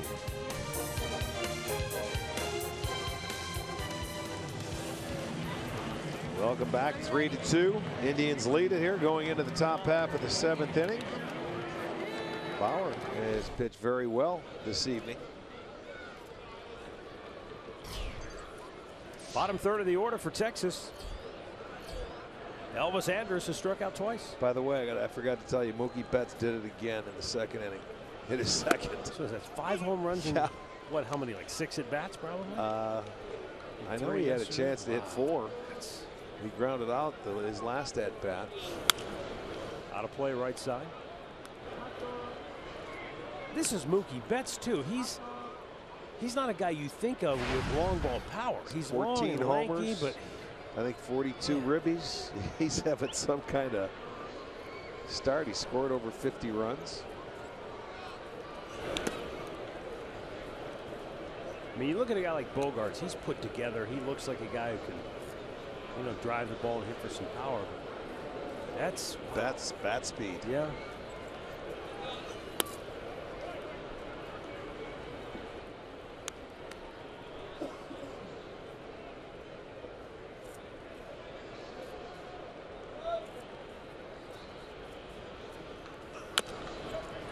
Andrus can foul that one up the third base side. Texas only has three hits yeah. in the game. Uh, Bauer's thrown the ball very well. He's handled Andrus both times. He had him looking the first time, struck him out.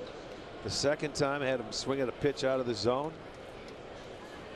He really settled in. And like I said, when you go back to it, that first inning sacrifice fly, that's because Ramirez is, threw it like an infielder. You know, that, that was the first run. And a ground ball scored the other run uh, with a one out walk. They got the base hit, but they don't have a hit to drive in a run.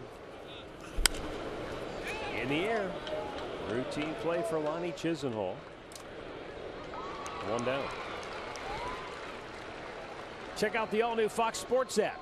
You can get Major League Baseball highlights, interviews, injury updates, scores, instant alerts on your favorite teams. Just download it in the App Store, Google Play, or visit foxsports.com slash app.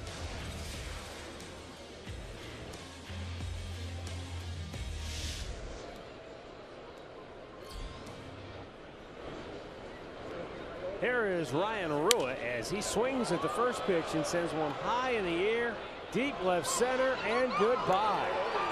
Ryan Rua in his return home belts a solo home run, his third of the year, and the game is tied at three. Tell you what, he smoked that ball. That ball hit a long way. Well, he was upset the way his last at bat ended on a called third strike that he thought was a ball. He didn't wait around this time. Let's take a look at this pitch. Well, there's one that leaked, uh, and he gave him some swinging room.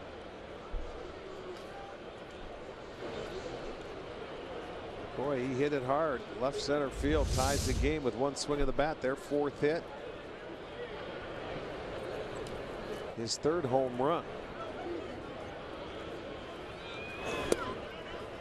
And now Bobby Wilson, who walked and scored in the third, lined out the center his last time up.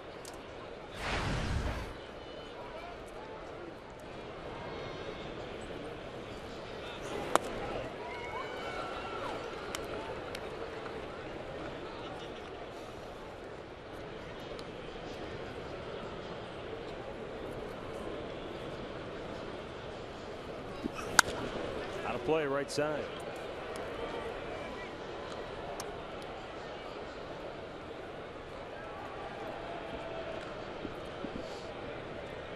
Texas, that's their third home run in the series, and they all came on the first pitch. And Wilson down on strikes. That's half dozen Ks for Bauer. Two away.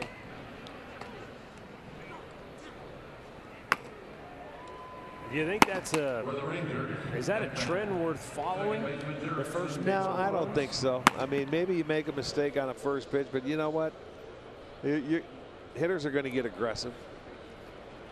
Coming into this game, batters were successful off Trevor Bauer on first pitch. Swings, then, then balls put in play. Think back to a year ago with Corey Kluber and early this year. Sometimes if he was going to get hurt, it was usually It was, first pitch. yeah, they would get after him early.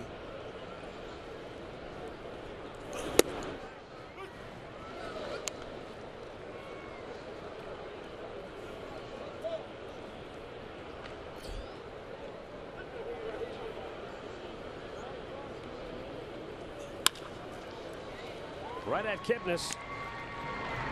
And that'll end the inning. But Ryan Rua trying to ruin things for Trevor Bauer with a solo shot to the bleachers. And we're back to even at three. Stretch time in Cleveland.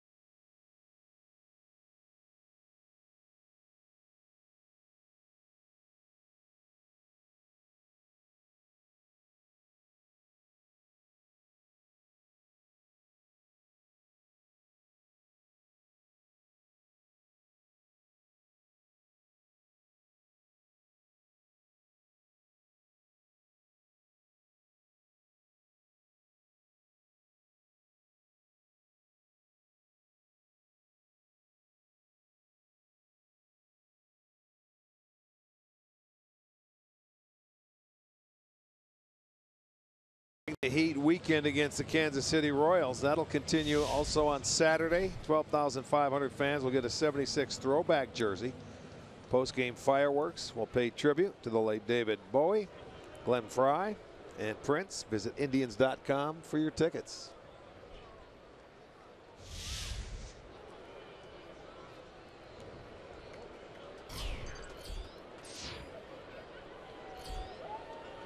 Here is Chris Gimenez as he swings at the first pitch right at the left fielder Rua. One down.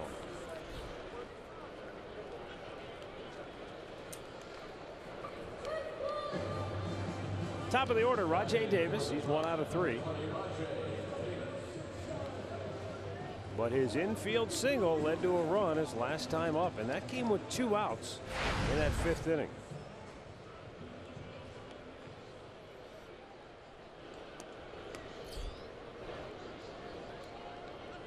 Cole Hamels working here in the seventh inning in a tie game and delivers a fastball high.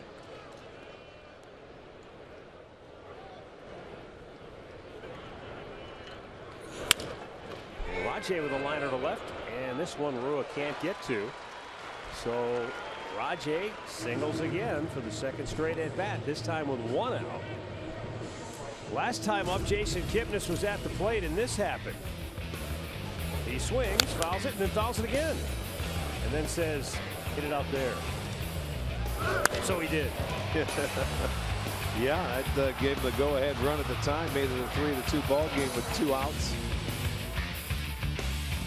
Now this time Davis may have an idea on Hamels with his move after being on last time.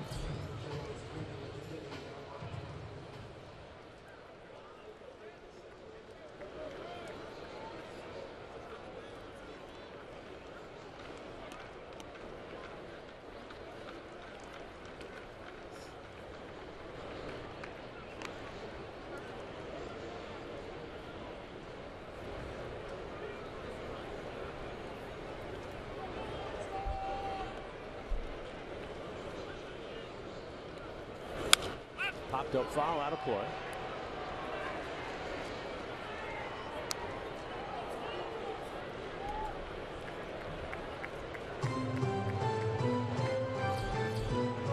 Bryan Shaw getting ready. Luke Jackson up in the Texas pen.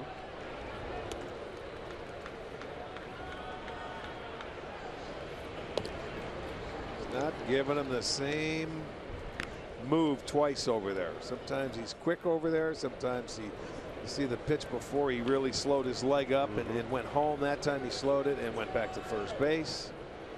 The game of cat and mouse when you're trying to hold a base stealer close.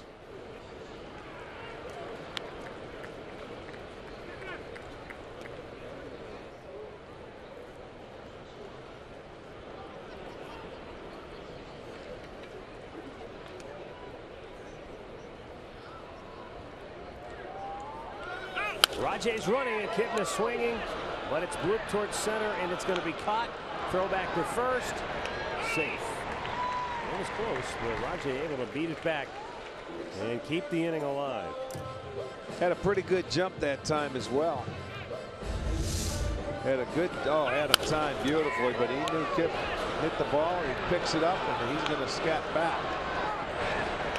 Gets in there just before the throw. A lot closer than a looked.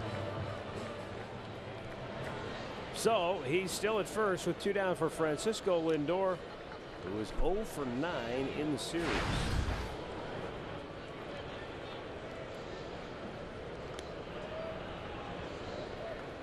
Came in batting 400 from this side of the plate.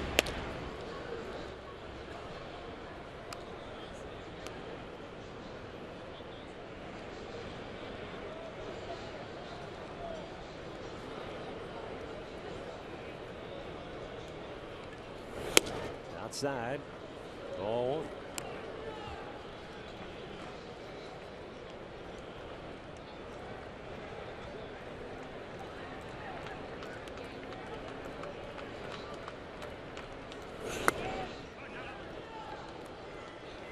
You know, we talked before about Cole Hamels and that that knuckle curve grip that he has, reminiscent of Cliff Lee. Cliff, uh, I believe, officially retired this spring. Yeah, he was trying gonna- make yep. one more comeback, but roll throw to first. Rajai's running, and I don't know if they got him or not. Ball's loose. He's safe. Well, Rajai with the speed, he just outran the play. I'm not sure even if they hold on to it if they get him. You know what? It looks like the home plate umpire called the balk. Oh, okay. He, uh, he would have beat it anyway. See, look, he, he slow played that one like he stopped. Let's see, there he is. He called the balk. You know, he was deceived. That's why he called it. He saw Davis taking off, and what he did. was called. I didn't see where he. Well, balked, you know did what? He went up there and he was going this way. He didn't really step towards first. You know, he, he brought that leg up. Once he, he he saw that Davis took off, he ended up going over there. And a slow chopper to short. Will end the inning. Seven complete. 3-3 is our score.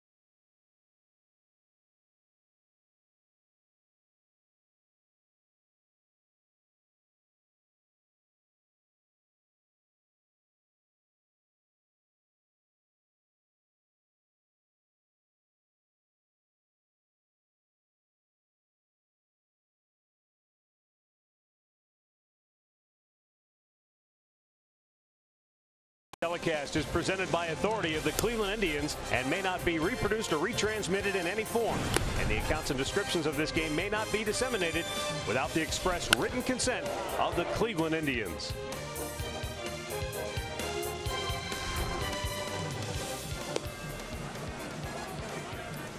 Three-three, eighth inning. And the night is over for Trevor Bauer. No decision for the Indians right-hander, but boy, you can't take away from the fact he pitched well. Bullpen yeah. takes over now. Bryan Shaw. Yeah, Bauer did. He pitched very well, settled in. It's a shame at that one home run. That tie the game up there in the last inning in the seventh. Shaw came in and pitched in yesterday's ball game. He's going to have to go through two, three, and four. Desmond Fielder Beltre.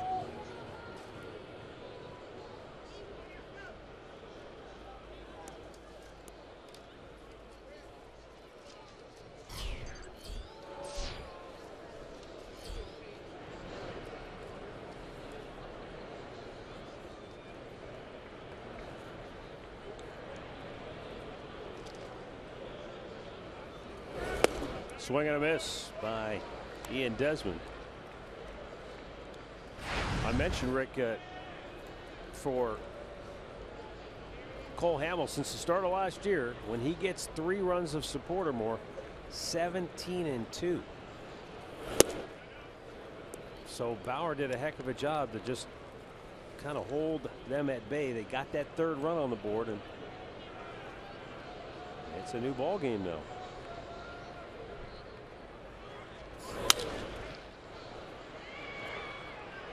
Yeah, they were uh, they were shaking Hamels' hand in there, so I'm sure he's done for the night. But and of course the Indians number, as you well know, magic number is four. When they score four or more, they're 24 and six on the year. One shy of that at the moment. That could be a huge number for either team, depending on who gets to it first.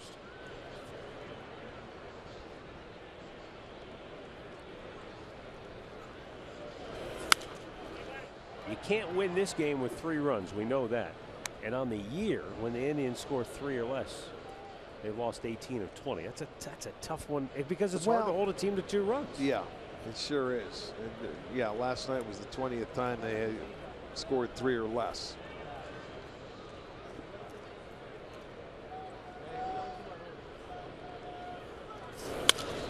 Shoots that one just foul first base. Well, you see with two strikes, he's giving in a little bit here. He's not going uh, trying to pull that cutter or the breaking ball from Bryan Shaw. He's trying to get on base and get something started here late in the game. This game's going to be decided by the bullpens.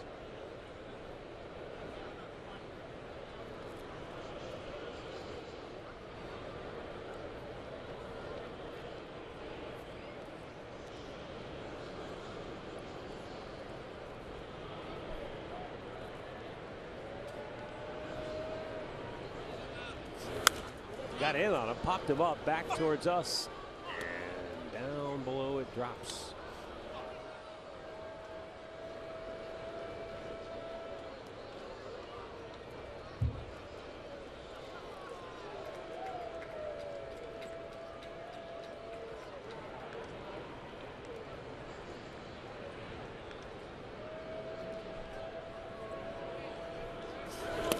Swung and missed. Ian Desmond down hacking one away here in the eighth inning.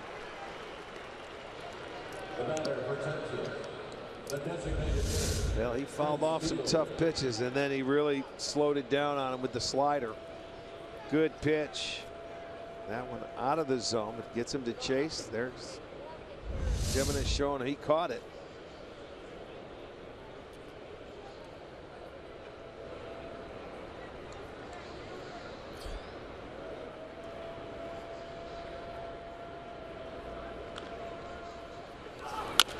Prince Fielder, a little tapper back to the mound. It's Gimenez who jumps on it and throws it out. Two away.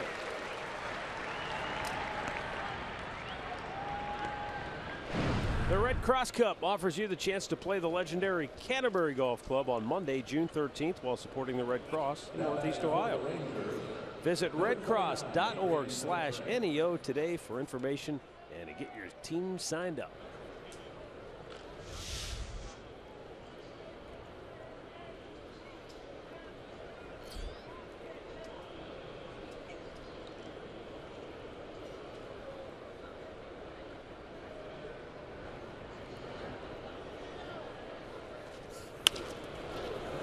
Adrian Beltre with a soft liner to center field, his second hit of the night. He got jammed, but boy, this guy can hit. So they will get a two out single here. It got inside on him and he just fights it off. Takes it to center field. That's hit number five now for Texas. Beltre with two of them.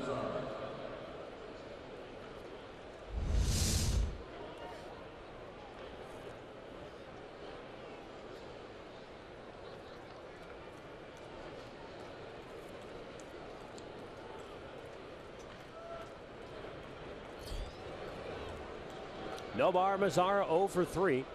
He really hit the ball hard his last time up, but he lined it to the left fielder Jose Ramirez.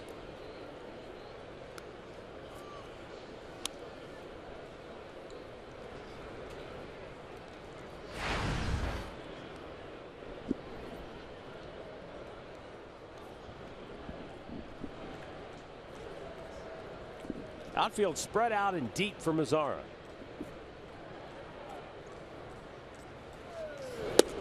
And it's down low. 2 0. Jeff Banister probably doesn't have any discipline problems with Nomar Mazara. His father, a retired Navy general in the Dominican. No kidding. Yeah. You wouldn't think so, would you?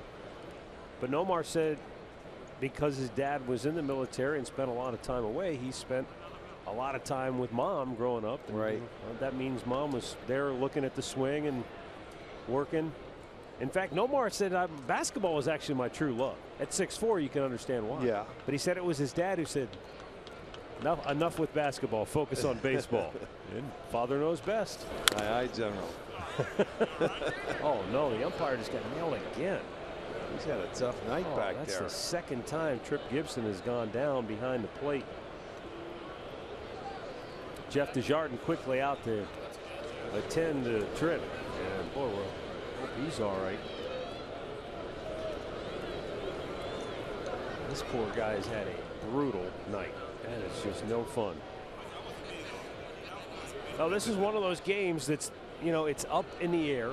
The Indians have lost the first two. Yeah, it's June 1st, and there's a ton of baseball to be played, but this feels, Rick, this feels like a game they have to have. Yeah, I, I would agree with that. You, you never ever want to get swept in a series. They've been swept one time. That was in Philadelphia when we were on the road. But you never, you know, want to get swept. You got to salvage one out of the series, and it's there for the taking. And, you know, it's late in the ball game. And, yes, if you do it because you've got a, a really big weekend series coming up, back in your division where they're playing well, can feel good about themselves. Kind of falls under the category of how to find a way. Yeah, this is one you find a way. Absolutely. Someone has to step up. That young man's had a tough night back there. They're giving him a moment to. Yeah, I mean, what? Really, nothing you can do. No. You just have to wait and hope the pain yes. subsides. You know, he'll go through the questions that the trainers will ask you, see how you feel, you know, give you some time and make sure that you're going to be okay. And if, you know, if they don't think so, they'll end up sending in an umpire and, and suiting up somebody else to come in here. I know umpires, they hate to do that. But boy, sometimes you just can't help it. There's the crew chief Hunter Wendelstedt. He's looking on now because he, he would be the, probably the next to suit up. And Jeff Desjardins is probably explaining yeah, to them, yeah. look, if, if, he's. Yeah, it looks like he, he may leave. All right, they're saying he's gonna he's gonna gut it out.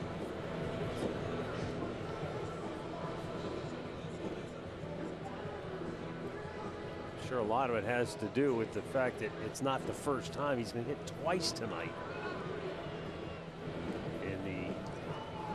Same situation. Well, he's going to get a little more time because they want Shaw to throw a couple of pitches. He's going to walk around and just make sure. He says I'm good. I don't exactly know what level of good he is, but depends on what you call good. Yeah, I'm good, but I'm still in pain.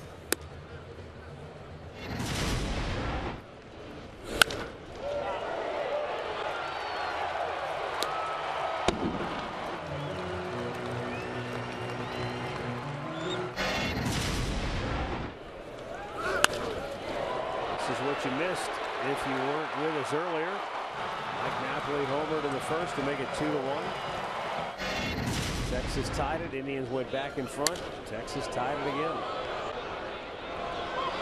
And now they bat with one on and two out in the eighth, and Nomar Mazara at the plate.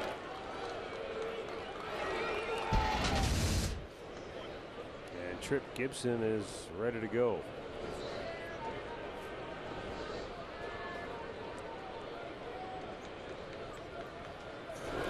Down in the dirt. He went.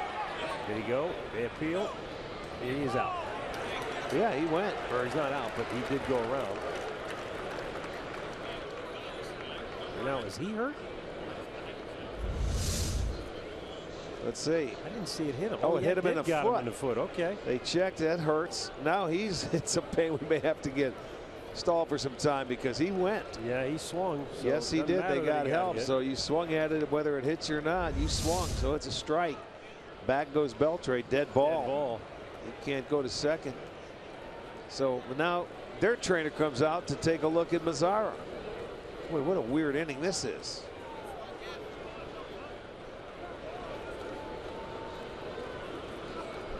No, you can't advance on a dead ball, Jeff. He's asking the umpire why Beltre has to go back. Hit him in the foot. Dead ball. And now Jeff's going to go look at Mazara. Oh, it hit you in the foot? Okay.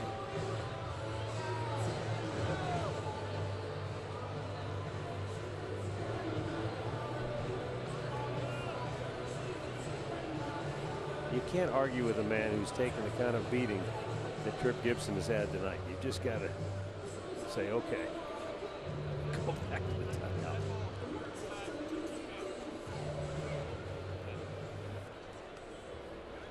Well, there's only one guy left up there, and that's Gimenez to get hit this at bat.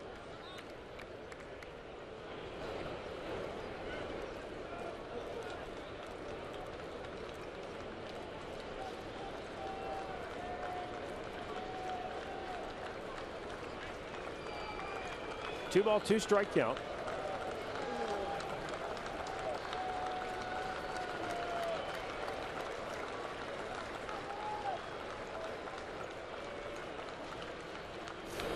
And Mazara with a chopper to Kipnis. He'll flip it to Lindor, and the inning is over. We move to the bottom of the eighth, 3 3 in Cleveland.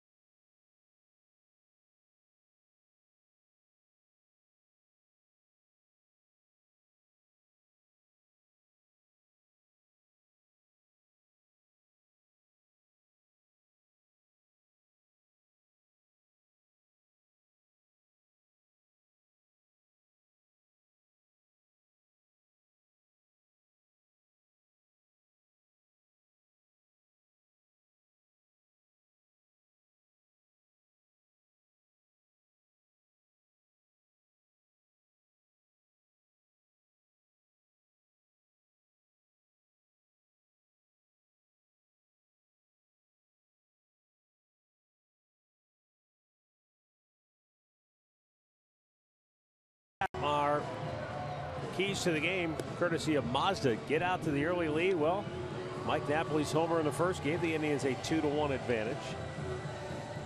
Think the other way against Hamels. The Indians have. Uh, he was tough again tonight in his own way. Three runs on six hits. They had three walks, five strikeouts. Been a, it's been a well played, a well pitched game. And a good ball game now as we go into the eighth inning, bottom half. Luke Jackson on for the fourth time this year.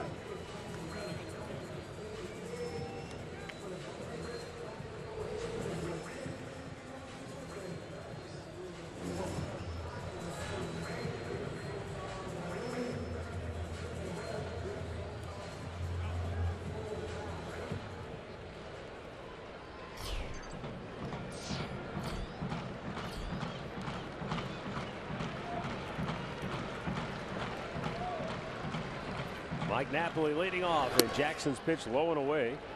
Ball one Napoli one out of three in the ball game.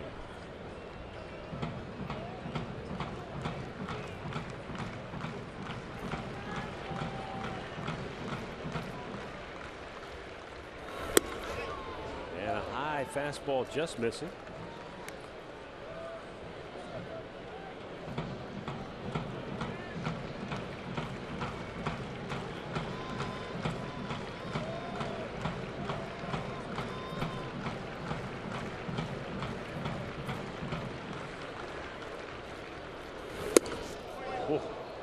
pretty good heat 94 and had a little movement in.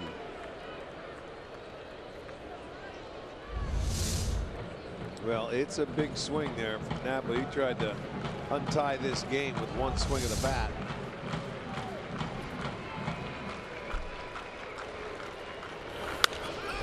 Pops it up straight up. I mean, this is the old home run with an elevator shaft here. And a nice grab by Wilson, one away.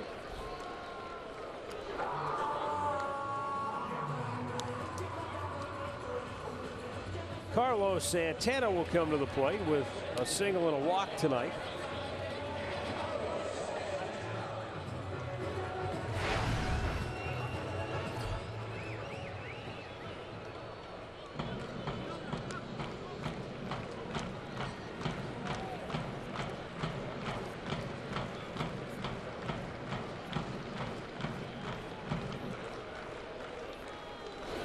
If the Indians do not score, in this inning.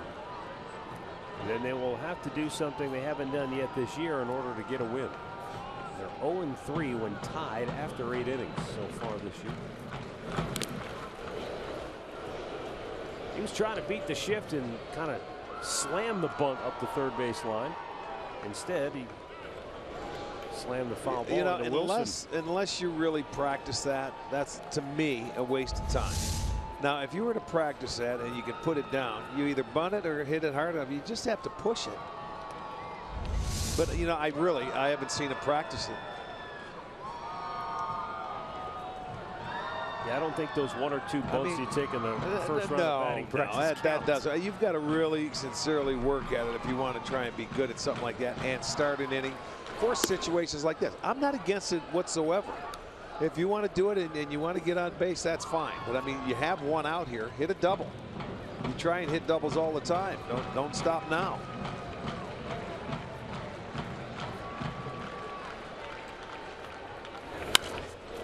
He pops him up, and this is playable for Beltre. Two foul outs in the eighth inning for Cleveland. And now Jose Ramirez.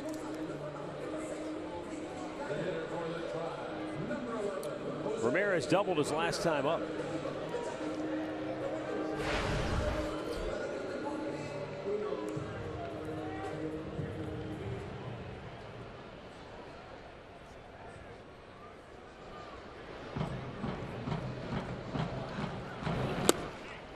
Big curveball, and it's in for a strike.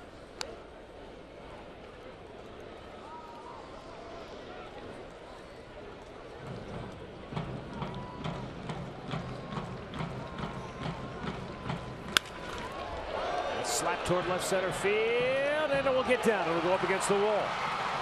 And into second base with a two-out double. is Jose Ramirez. And now the go-ahead run into scoring position for Juan Uribe. Well, the second straight double for Ramirez. And boy, that's just a nice swing.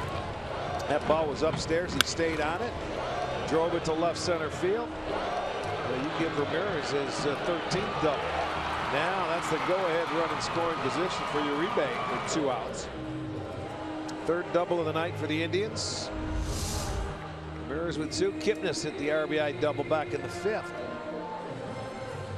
So he's carrying the mail out there at second base now.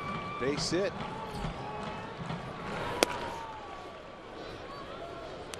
Uribe's had a chance to drive in a run in each of his last two at bats. He left two on with two out in the fourth.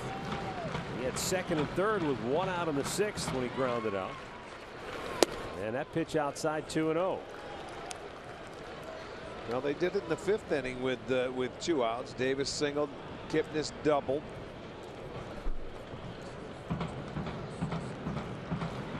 Right time to do it here, bottom of the eighth.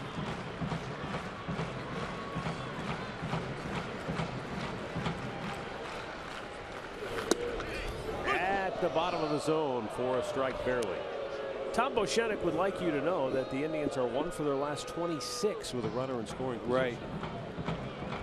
One for their last 26. You see that pitch. That's not one you like. That's maybe a little low, but it is called the strike. Uribe lines it into the center field. A base hit coming around third. Ramirez will score the go-ahead run. And down to second base goes Uribe as the Indians are up four to three as he delivers a two-out clutch RBI base hit. His 12th run batted in on the year. And the Indians' new elder statesman has a huge hit here in the eighth inning. Make it two for 27 now for the Indians with runners in scoring position. This one comes at the right time.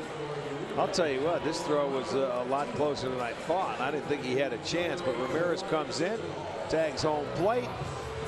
They lead it now four to three. Big hit for Uribe. Now pitch running Martinez. Close only counts in hand grades, hand grenades and horseshoes, right? That's right. I didn't even think he was going to, the way he let that ball drop, he was even going to throw it home. I was kind of agreeing with you there. Lonnie Chisenhall fouls one out of play. Juan Uribe at 37, now the oldest member of the club. Marlon Byrd was at 38. But if you missed it earlier, he has been suspended for the remainder of the year. And real good bet his career is over. Lonnie Chisenhall bounces one to first base. Moreland will go to the bag himself. And the inning is over. But the Indians come back with two down in the inning. Nobody on base. They rally to take the lead.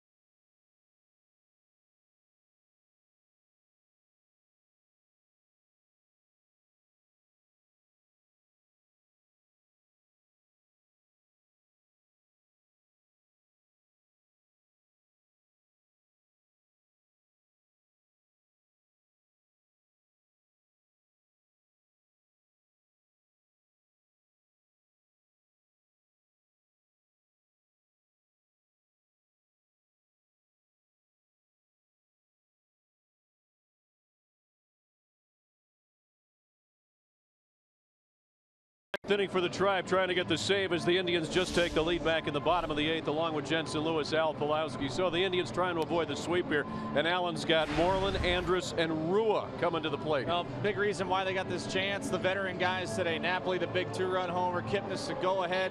And then Juan Uribe. He's now the elder statesman with Marlon Byrd gone. Significant contributions from the guys they needed most. All right, join us for Indians Live after the ball game. Brought to you by Conrad's Tire Express and Total Car Care. For the ninth inning call, let's go upstairs to Matt and Rick, guys. All right, thanks, Al. A host of changes. We'll get to them when we can. Uh, right now, the first thing that's important to tell you about is Cody Allen trying to make it 12 out of 12 in save situations. So he's on to pitch. Jose Ramirez moves from left field to the infield. He takes over third base. Michael Martinez, who pinch ran for Juan Uribe, is now in center field. Rajai Davis moves from center field over to left field. And Yan Gomes is taken over behind the plate. Mitch Moreland, Elvis Andrus, and Ryan Rua. The Rangers here in the ninth fastball running away, ball one.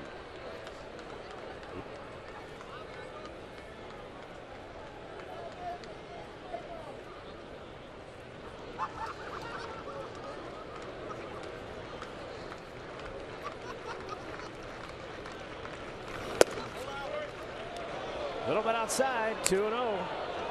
That'll get the natives restless in a hurry.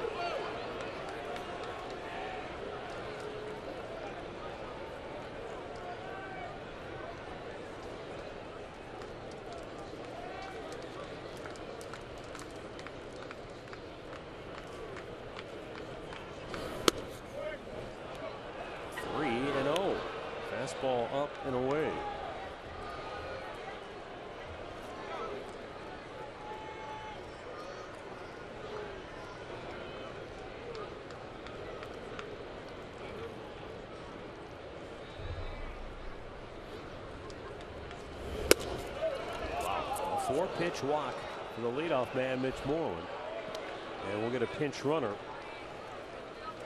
for Moreland as Hanser Alberto will come on to run. Okay, couldn't find the zone there, so now that's the tying run on first base. Andrus, a guy that can handle a bat. He's a good bunter. If they should try to sacrifice. Ramirez in on the grass at third.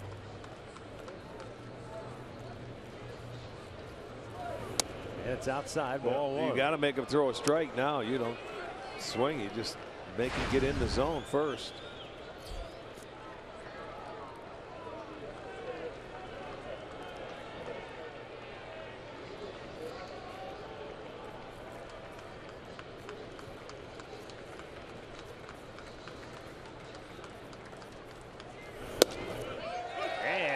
Strike one and one.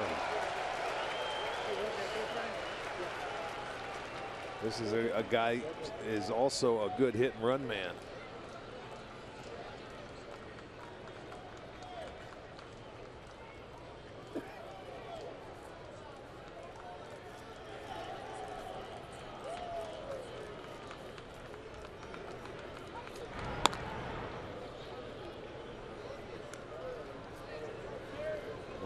That far from first base. Just fell down to back to first. But he's got pretty good numbers against Cody Allen, four for five.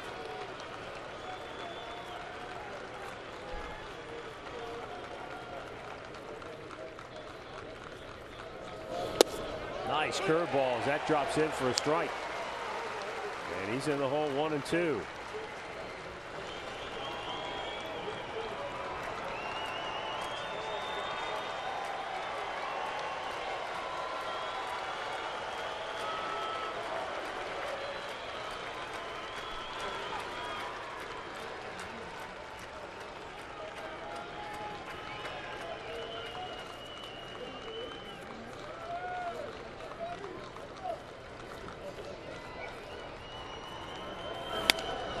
Looped towards center, going to drop for a hit. And Alberto's going to go to third.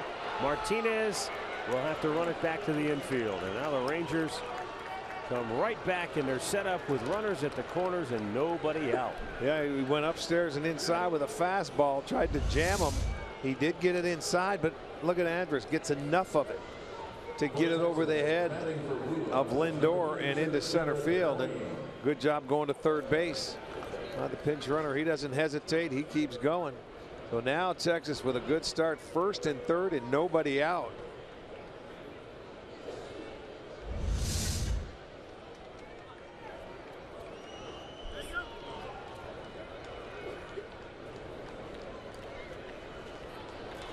Jared Hoying.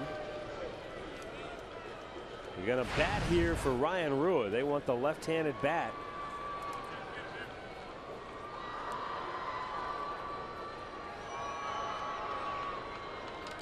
Rua homered his last time up.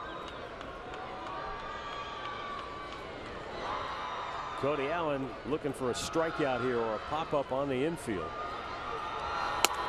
Instead, he almost throws it to the backstop. Ball one. Well, that's this is a case where he has to be careful with his curveball in the dirt too.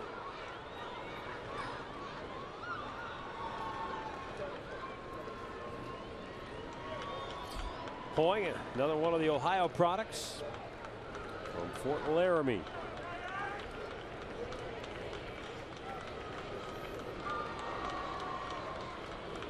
He got the start yesterday and had two hits, a run scored, and an RBI, and he takes ball two. So seven of the 10 pitches that Cody has thrown have been out of the zone.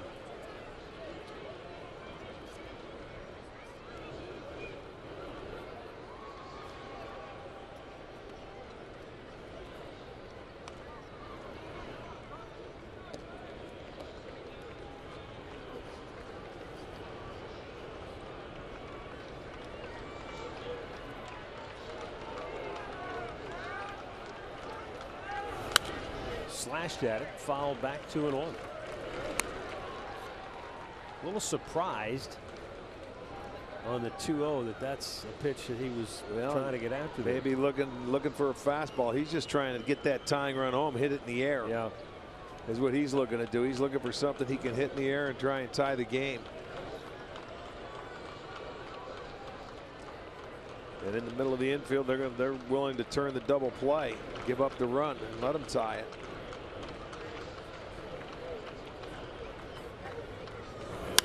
Out of play. Now a chance to go for the punch out. Well, and tardy on his fastball.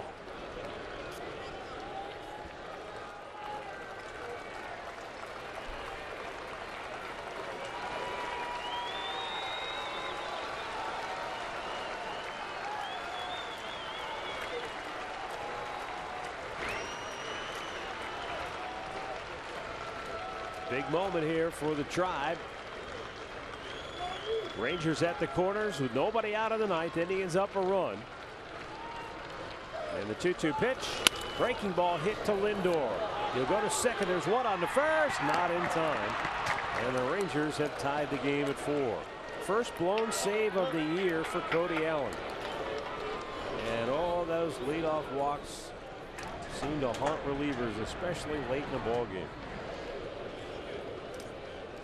Stepping into the Rangers,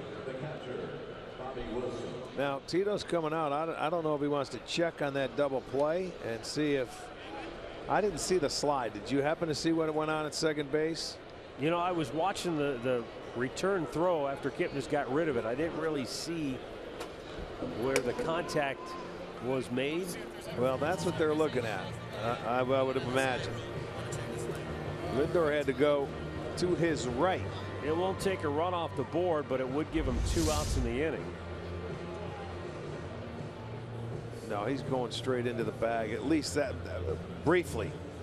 I don't think he did anything uh, unless he slid late. Well, I couldn't see the contact from that angle, so I don't know.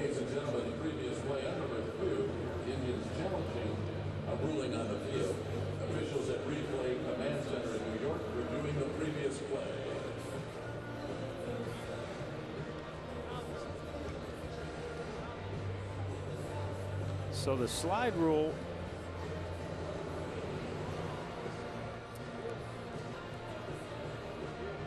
The Indians are asking in the challenge if it was a proper slide into second at second base. Not in violation of the slide rule. And the Indians are challenging that,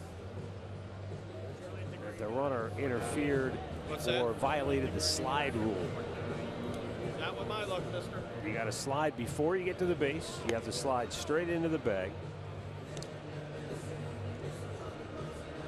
And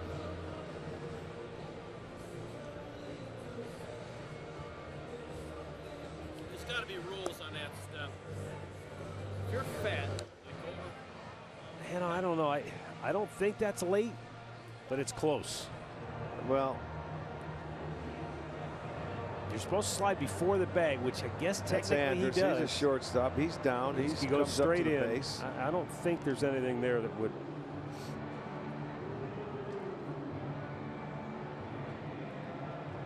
I guess the real defining element, Rick, is did he slide in time? Did he get down in time before the base? Yeah, I, I I don't know who interprets that. That's that's their job. It's it's too hard to tell from there, from what we see. Maybe they see it a different way.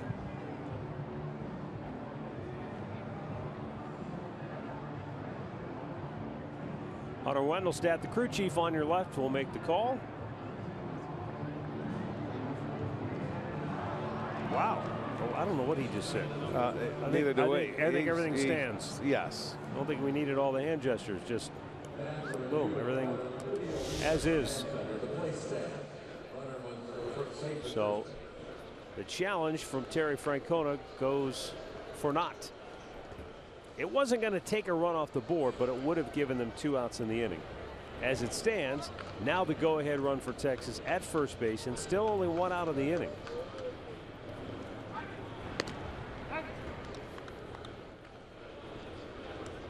And it started with a four pitch walk for Cody Allen to Mitch Moreland. That's how the inning began.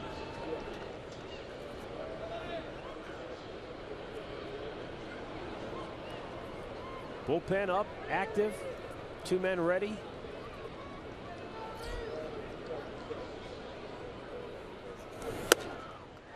Bobby Wilson cuts and misses.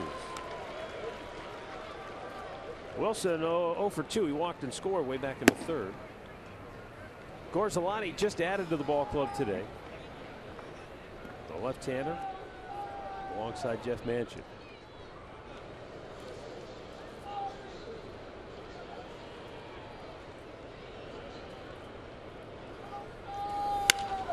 Foul.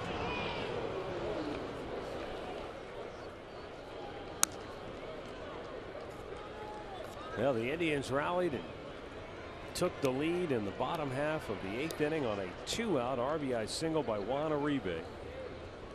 Only to watch Texas come right back in the top of the ninth, and tie it back up. Now Cody Allen trying to get him to the bottom of the ninth a tie game with a chance to win it maybe.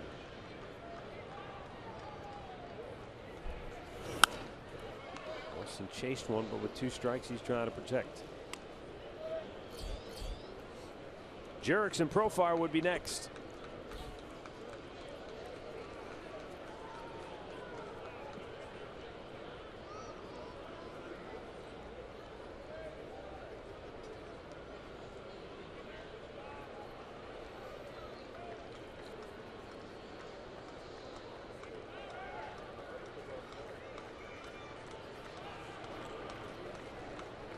Two strike delivery is a broken bat right back to Cody. To second for one on the first inning ending double play. So we will go to the bottom of the ninth. The Indians with a chance to win it. Tied at four. Rajai Davis due up second for the tribe in the home half of the ninth.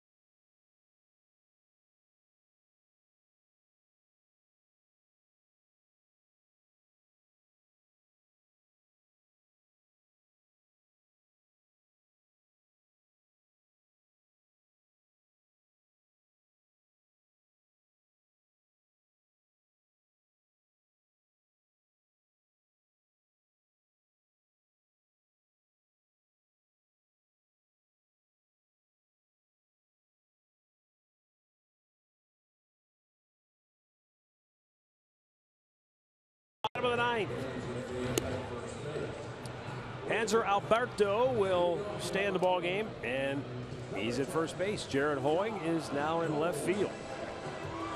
Luke Jackson, who worked the eighth and gave up the go-ahead run, is back out there to work tonight. That's kind of rare that you see a guy give up the go-ahead run late in the game and yeah, then come and back then come back out. Right. Well, they tied the game up, so you can't bring in your closer. Not on the road. So now the Indians are going to try and come back and win this one in the ninth. Yan Gomes took over for Chris Gimenez, so he will lead off here in the bottom of the ninth. Jimenez was 0 for 3 tonight at the plate.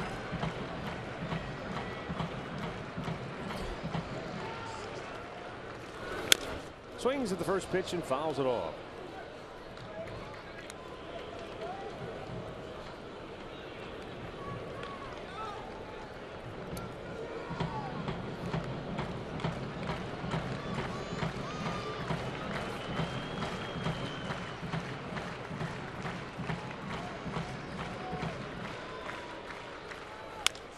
Pulls it foul, third base side. And now Yan on the hole, 0 and 2.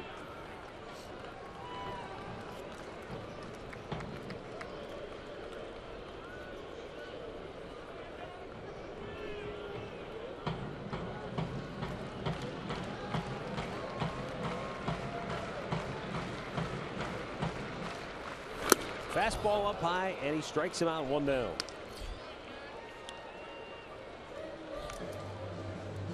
Top of the order. And Rajai Davis, who has singled his last two times up, scored a run on the fifth.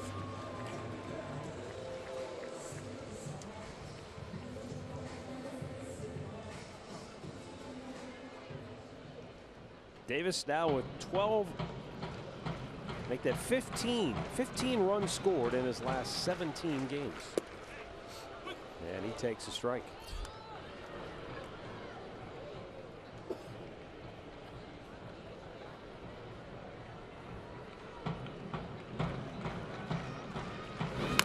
breaking ball pulled to third Beltre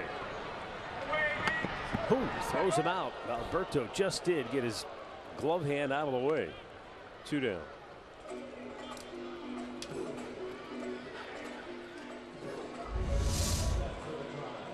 This guy usually very, very accurate on his throws. This one, little up the line, and he's a good thing he got it out of the way.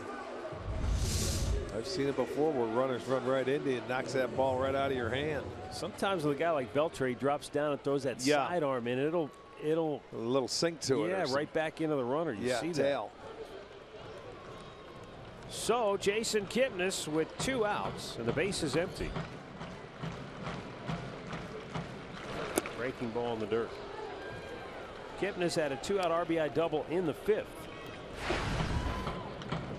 The time, that gave the Indians a three to two lead.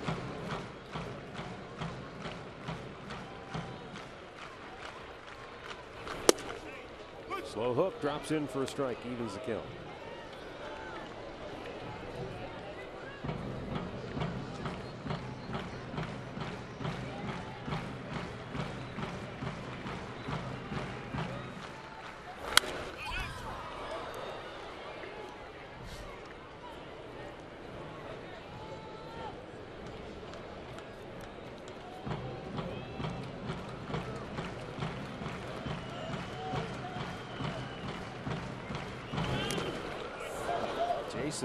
Goes after a ball in the dirt. He's saying he got a piece of it.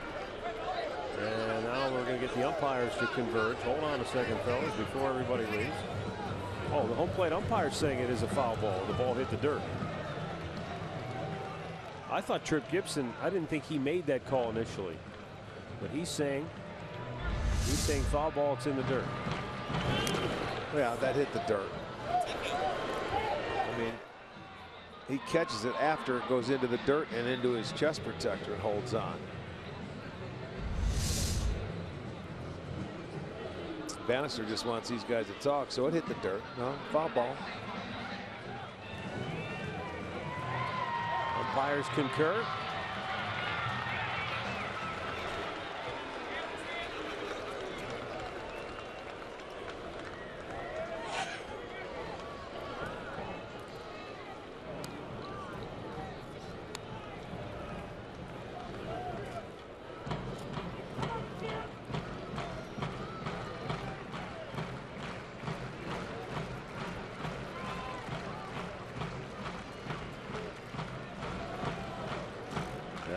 Now the 1 2 to Kipnis. And it's in the dirt.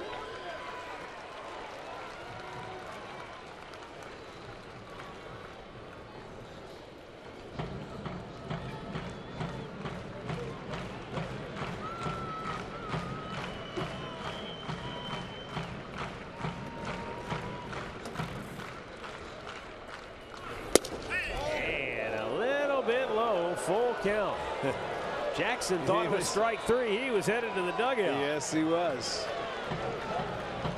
Take a look here. It's a close pitch. See if he flinches on this one. That pitch right there, fastball. Don't know. No, he did. Jackson thought he had one.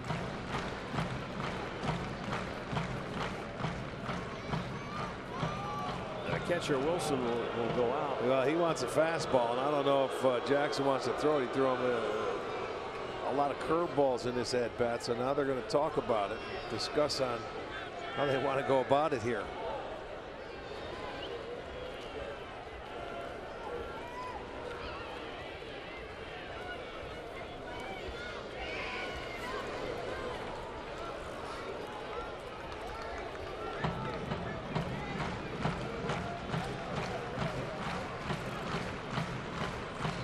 Now the payoff. And a foul ball on the fastball.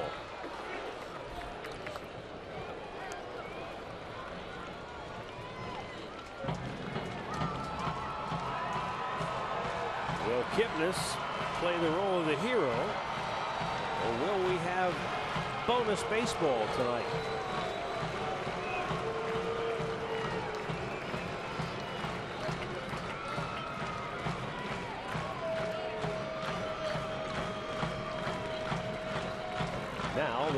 Pitch. Outside ball four.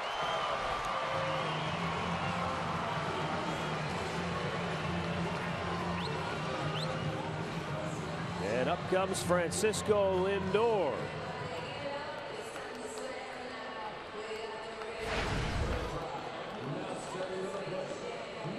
On the year, Kipnis has three stolen bases. He has not been caught.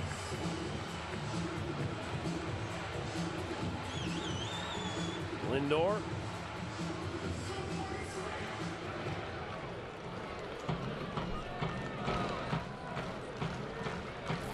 Oh for his last 11. Takes low, ball one. This is a guy, though, looks like you can run on. He's got a pretty big leg kick. At least he had it on that last pitch.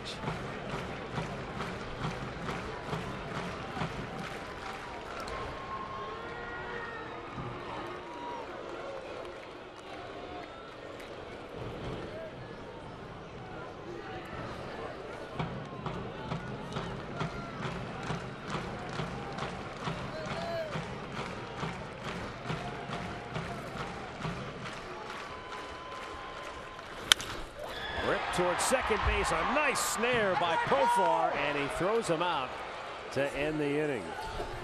We will go to extra innings tonight, tied at four here at Progressive Field.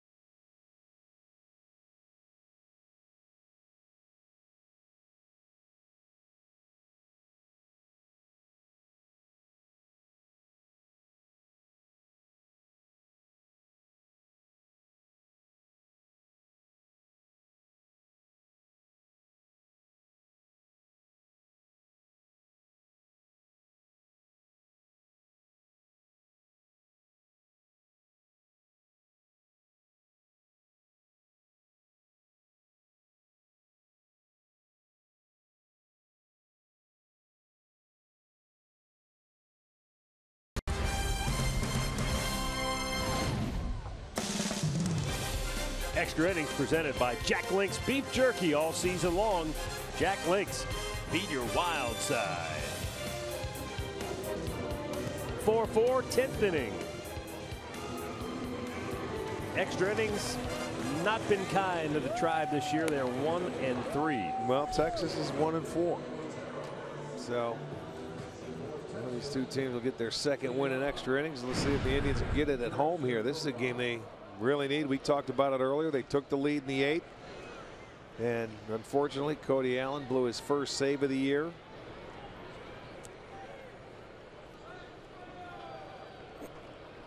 Dan Otero with his 18th appearance on the year. He's got the top of the order. Jurickson Profar, two for four tonight. Just made a dynamite play to end the ninth to send this game to extra innings.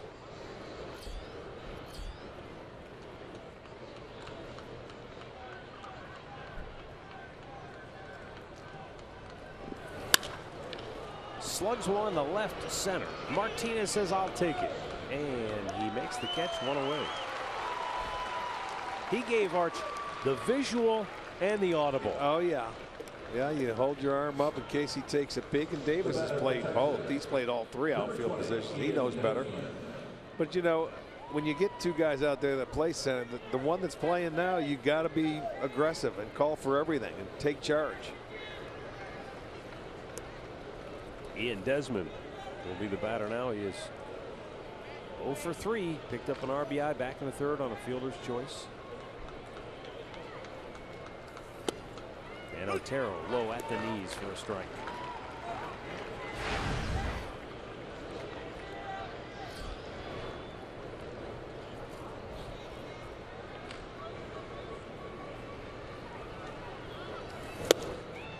He cuts and misses.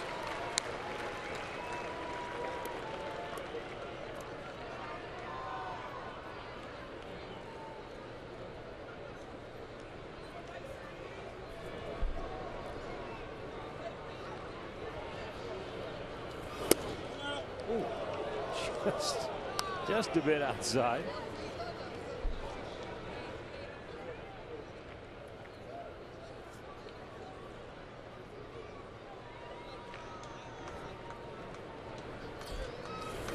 Oh, nice pitch. Boy, that had some good movement. Ran it in on him and strikes him out two away. Tied him up nicely. Watch how this ball runs inside and in off the plate. Great pitch. Boy, if you hit that one, you're not going to hit it fair if you try to pull it. And if, if you do hit it, it may it's going to bust your bat.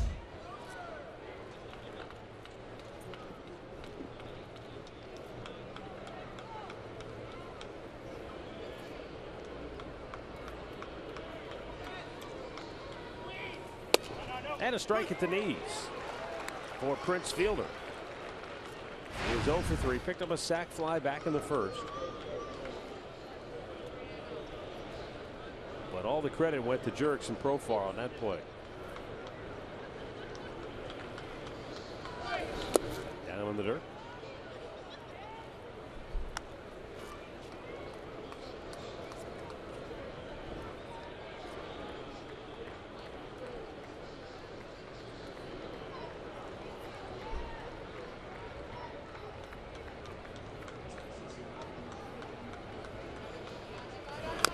Off end of the bat foul.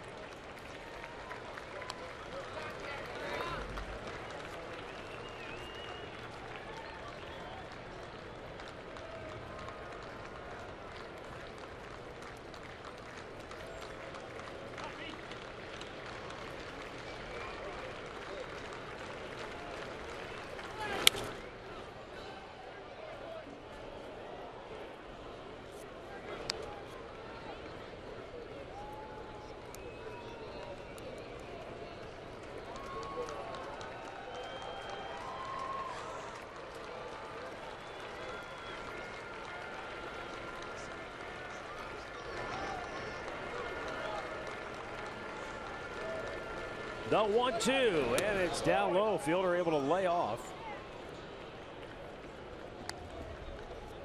Can't even up. Two balls, two strikes. Fielder batting average continues to sink.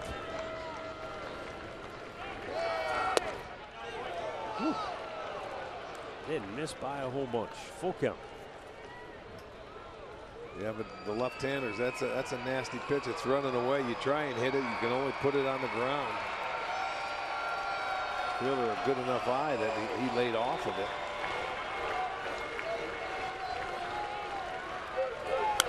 change.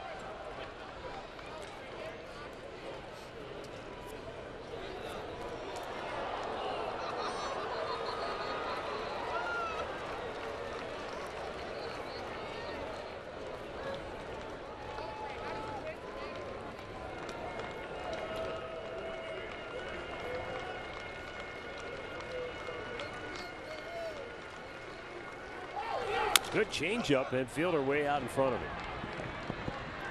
Dan Otero, solid. One, two, three, tenth inning. Tied at four.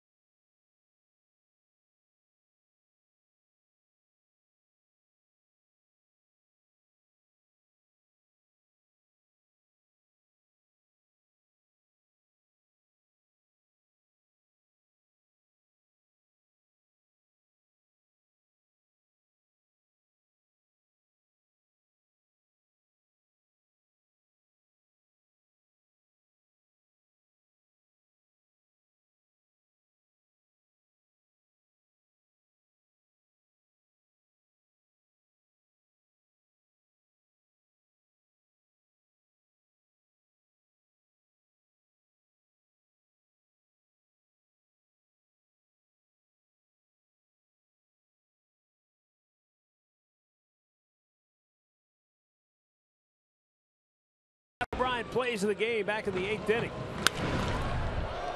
Two outs, bases empty. Jose Ramirez doubled off the wall and left. And then the next man up, Juan Uribe, smacked one up the gap. And that brought Ramirez around the score. And at that time, the Indians led it four to three. Yeah, it had an opportunity, took the lead. They gave up one in the ninth. We are here at the bottom of the 10th, still tied. Indians looking for one and for a walk-off.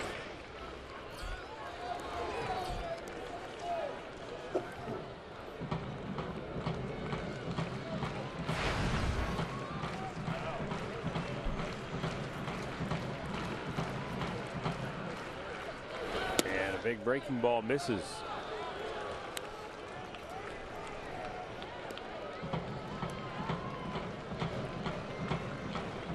looking for their first walk-off at home.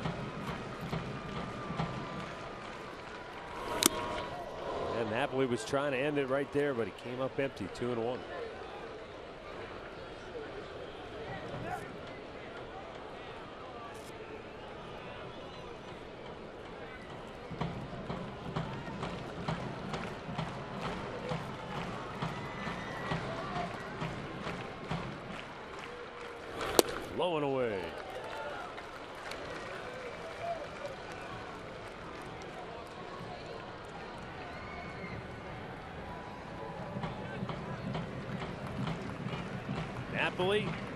Looking for something fat right here. The 3-1 pitch.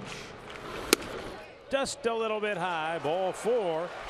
Winning run aboard to start the bottom of the 10th.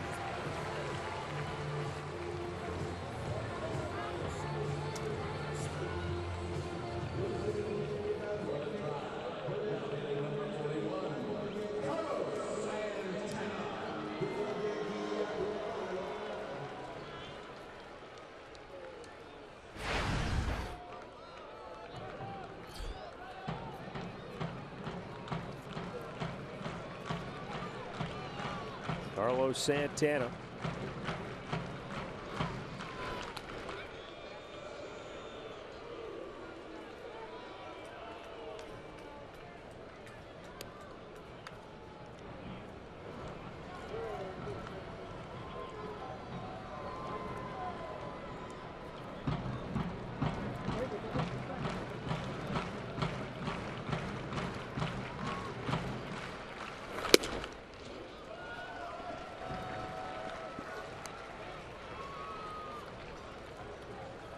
Bullpen busy for Texas. Remember, Luke Jackson pitched the eighth, in which the Indians scored a run. Pitched the ninth. Now he's back out here in the tenth. With the left-hander up. Presumably, I would have thought for Santana.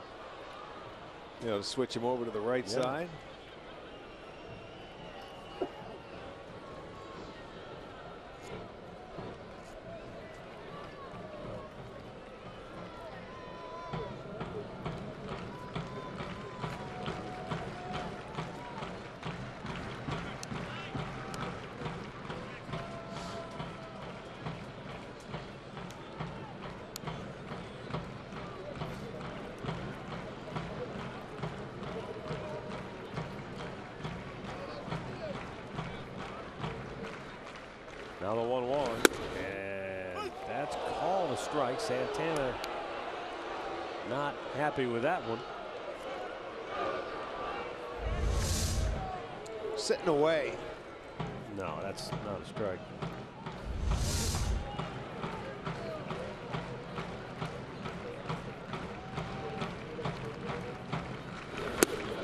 Dirt. Two balls, two strikes.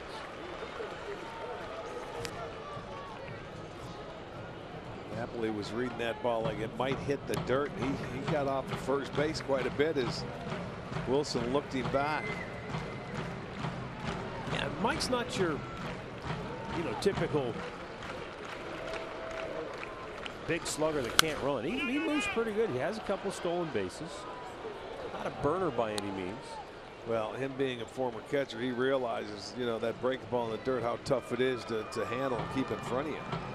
The only guy he was left, thinking that ball in there and maybe getting himself into scoring position. yeah, the only guy left on the bench is Tyler Naquin, but he does not appear to be, you know, coming into the game anytime soon.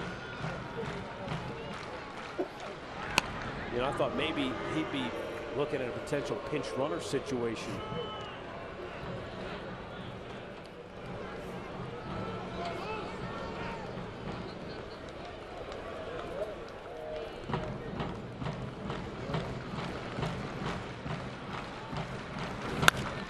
Santana wide of first.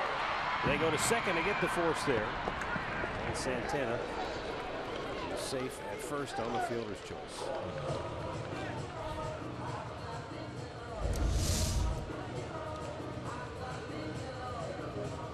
Alberto at first base couldn't get there. So his only play is going to get the lead runner. So they do get the out. Out comes Banister. He'll make the move now to his bullpen. Say thank you very much. Nice job. So we've got a timeout in the 10th. The winning runs at first with one out. We'll be right back.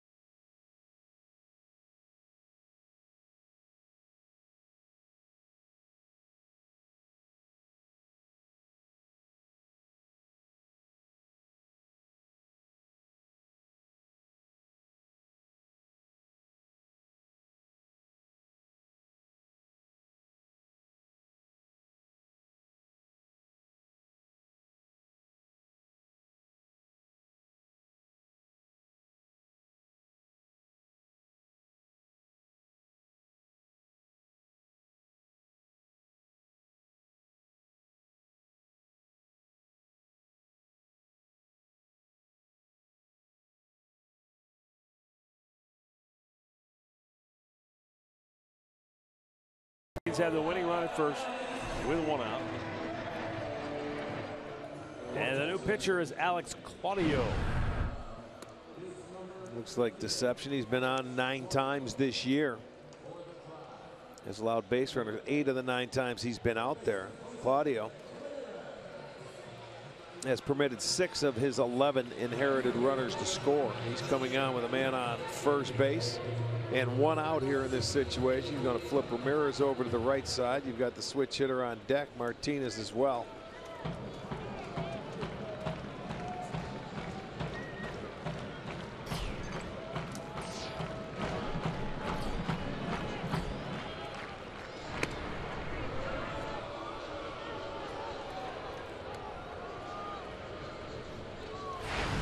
Jose Ramirez is continuing to swing the bat very well.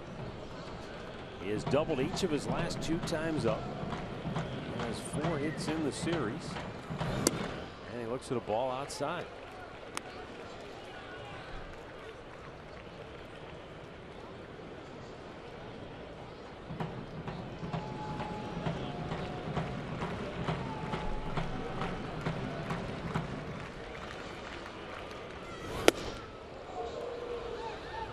And a count one on one.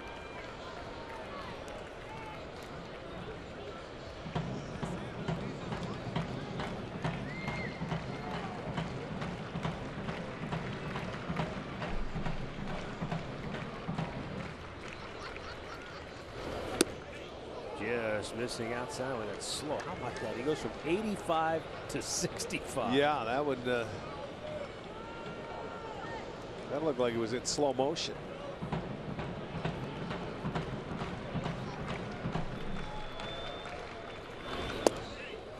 Good slow hook again. That's in for a strike, and it's two and two. It's like that game yesterday between San Diego and Seattle. And that uh, Christian Bethancourt came in for the Padres. He was throwing 94, and then he threw something up there. It was 53 miles an hour. like a knuckleball? Yeah. Pop back onto the screen. That was great, though. I mean, in, a, in an otherwise forgettable game for the Padres, when you give up 16 runs, there's not a lot to really. True. But so at the end of the game, he's got Bethancourt in there. He takes him out, puts him at I think second base, and then he brought Amarista in from the infield to pitch, and he finished it up. Got the last out for him. Save roster spots that way. And the 2-2 inside, almost nicked him. Full count, good. Another good at bat for Jose Ramirez.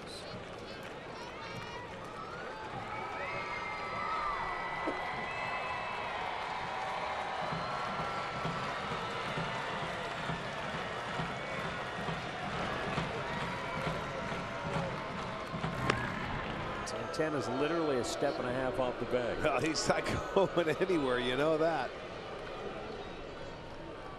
He's looking at Sandy, said, don't think about it. Stay here.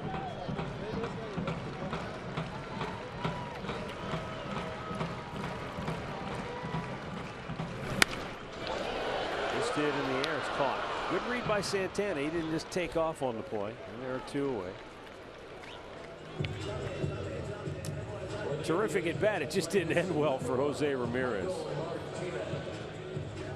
And so it's up to Michael Martinez, or we will play on.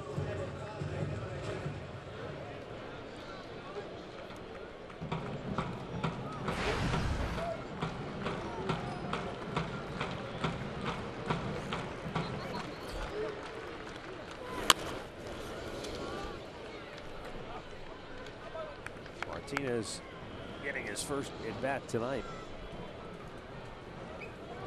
Two hits in his last two games played.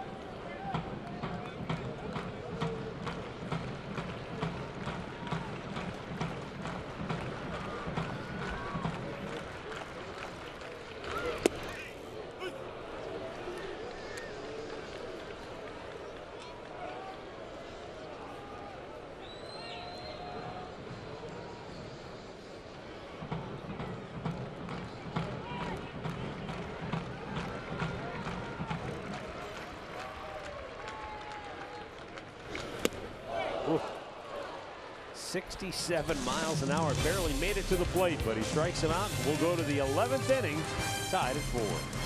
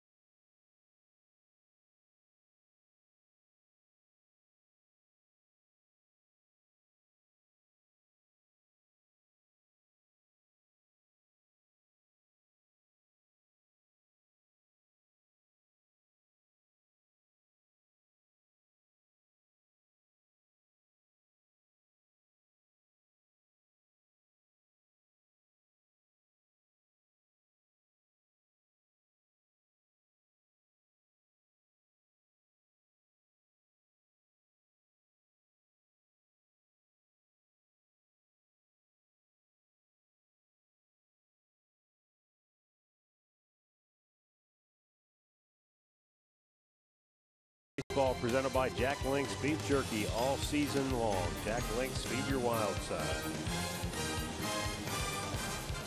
11th inning. And Adrian Beltre will lead it off for Texas. Jeff Manship on for the 19th time this year. Well, he's going to get Beltre, Mazara, and Alberto came into the game at first base.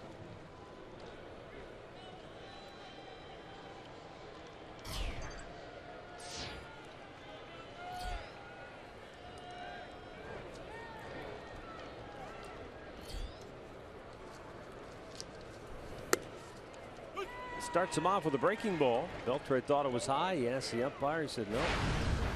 I'm calling him a strike. For Manship, right-handers hitting 233 against him this year, just 7 for 30.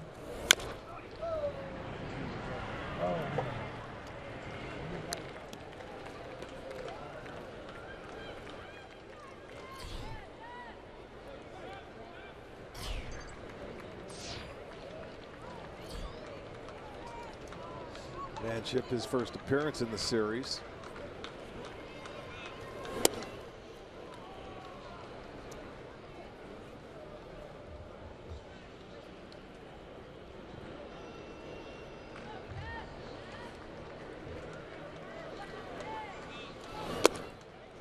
Blown away 2 2.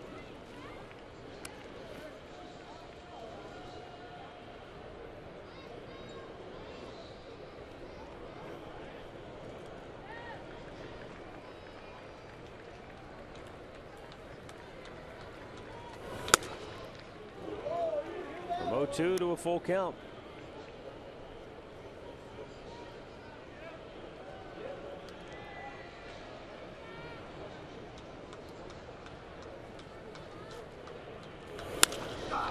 And he lifts one to center field. Michael Martinez makes the catch. One away. Red Sox in Baltimore tonight.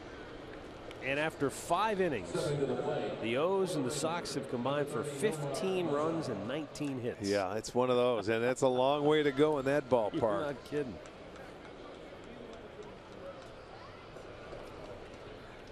We talked about how the ballparks in that uh, American League East, good hitters parks.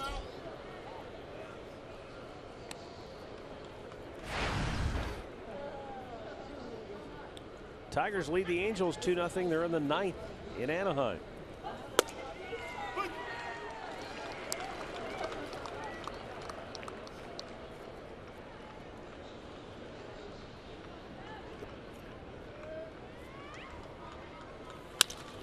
Line drive, base hit in the left field. Rajai Davis up with it, but Mazara, the go ahead run aboard now for Texas with one out here in the 11th inning. And Hanser Alberto will be coming up.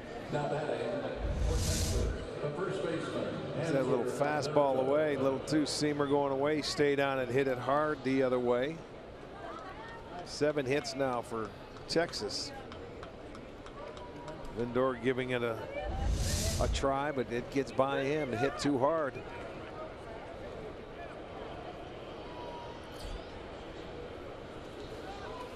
Alberto came on as a pinch runner in the ninth and scored the tying run.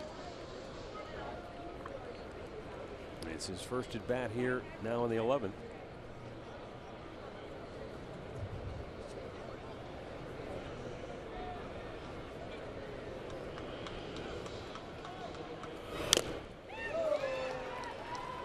Over his last eight games, just two for 13 at the plate.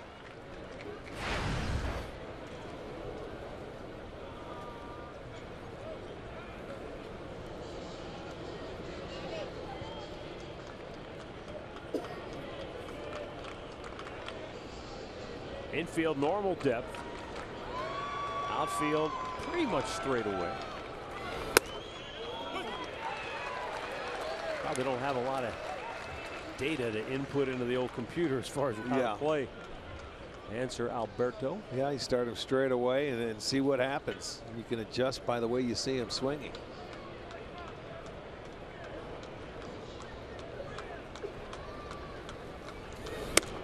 A little bit outside.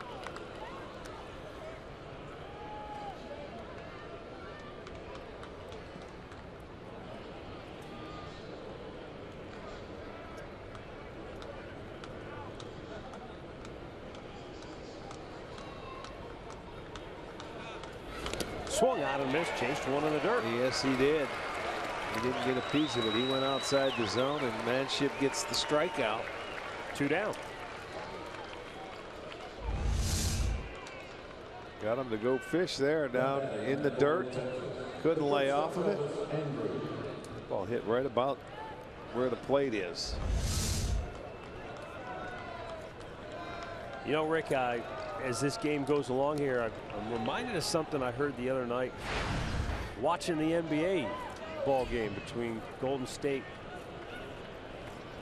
and Oklahoma City. It was game six afterwards, and Shaq and Charles Barkley, they were talking about hero ball, trying to do it yourself. And I think a lot of times in extra innings, we see that hero ball effect where guys go up instead of thinking about face hit, moving the runner, looking the other way. Everybody's trying to hit a home Yeah, run. I don't disagree with that. Now there's a base hit by Elvis Andrus. That's his game, man. He he has one home run on the year, but he's a, just a hitting machine. Well, he got the big base hit off Cody Allen back in the ninth after the leadoff walk to push it to first and third and set up that inning where they were able to come score. And he comes in again. And with two outs, gets a base hit. You move a guy up, you get him into scoring position, and Tito going to go out and make a change. Two hits allowed by Manship in two thirds of an inning. No walks, a strikeout. And with two on, he's going to go to the new left-hander, Tom Gorzelanny, who will be facing Jared Hoying when we come back.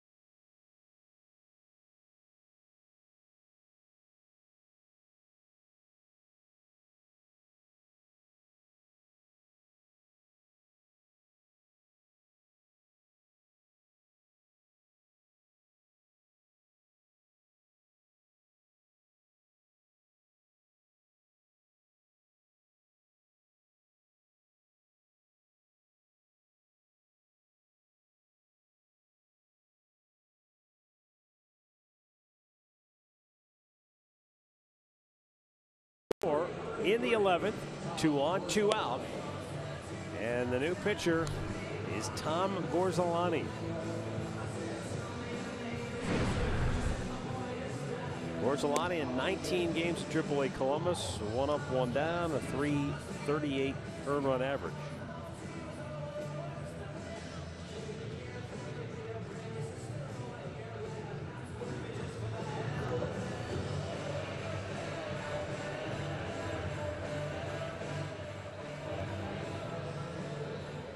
Be facing the left-handed hitting Jared Hoying, who came on in the ninth inning, picked up an RBI on a fielder's choice.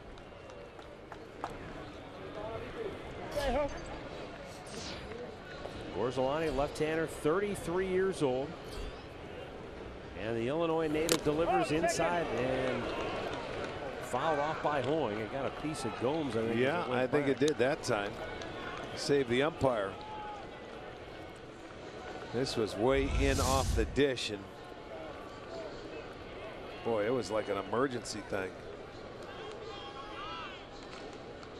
Tied him up and it did. Went off Gomes. Popped him up sky high infield. Santana foul ground. Oh, straddling the line makes the grab inning over. Bottom of the 11th coming up 4-4 in Cleveland.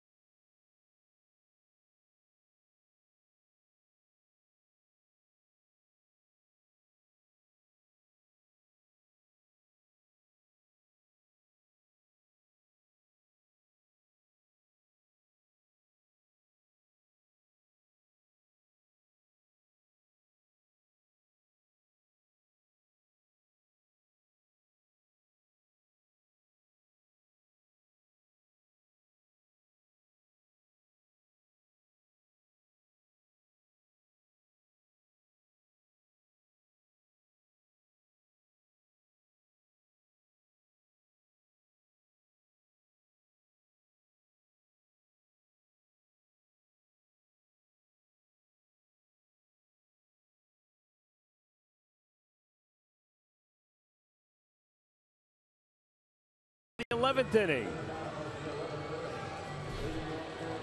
10,524 turned out on a beautiful night here at the ballpark. Warm once again. It was 72 at game time. Ideal. And a good ball game. 4-4 now. Bottom of the 11th. Lonnie Chisenhall will lead off. Then it's Yan Gomes and Rajai Davis. Rangers scored first with a run in the top half of the opening frame. Indians countered with a two-run homer from Mike Napoli. Rangers tied it in the third. Indians went ahead on a two-out RBI double by Kipnis in the fifth. And then the Rangers tied it again on a Ryan Rua homer in the seventh inning. And the Indians would go back in front in the eighth on an RBI double, uh, base hit with two outs by Juan Uribe. Only to see the Rangers come back and tie it in the ninth. And now Lonnie Chisenhall down the left field line. And it got hung up in the seats, so he'll stop at second base. There you go. And the Indians have the winning run in scoring position to start the bottom of the 11th. There you go. Shoot it inside out. Pretty good swing there by Lonnie. They were way off the line. You see where Beltre wanted to throw his glove. That ball gets stuck in the padding over there as it caroms off the wall. Fair ball double for Chisenhall, his sixth. So there's the winning run right there.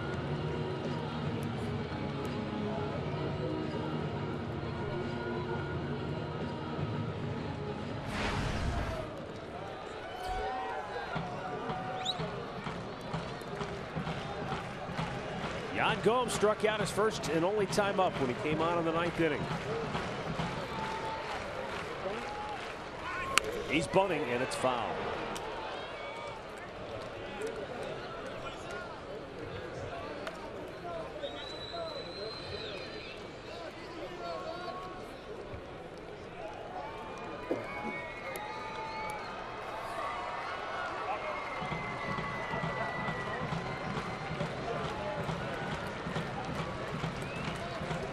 They pinch in at the corners.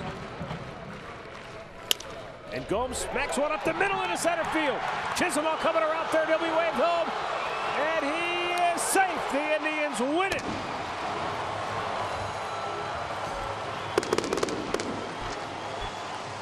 Five, four, the final in 11 as Yan Gomes bounced one right back through the middle.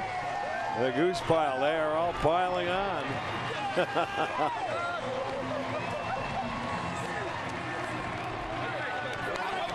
Indians get their first extra inning win at home this year, second on the season, and they avoid the sweep, taking the series finale. As I said to you before, I thought a game they had to have. Yeah, I, I, agree with that. Their first walk-off of the year at home, and they desperately needed this ball game. And you come in, Chisenhall hits the double, goes the other way off the left-hander. Gomes, he's been struggling so bad this year. Uh, you know, as far as average goes, he, he was going to bunt to try and get him over, and then he finds a hole. He finally gets one over the pitcher's head, finds a hole, and it ends up being the game winner.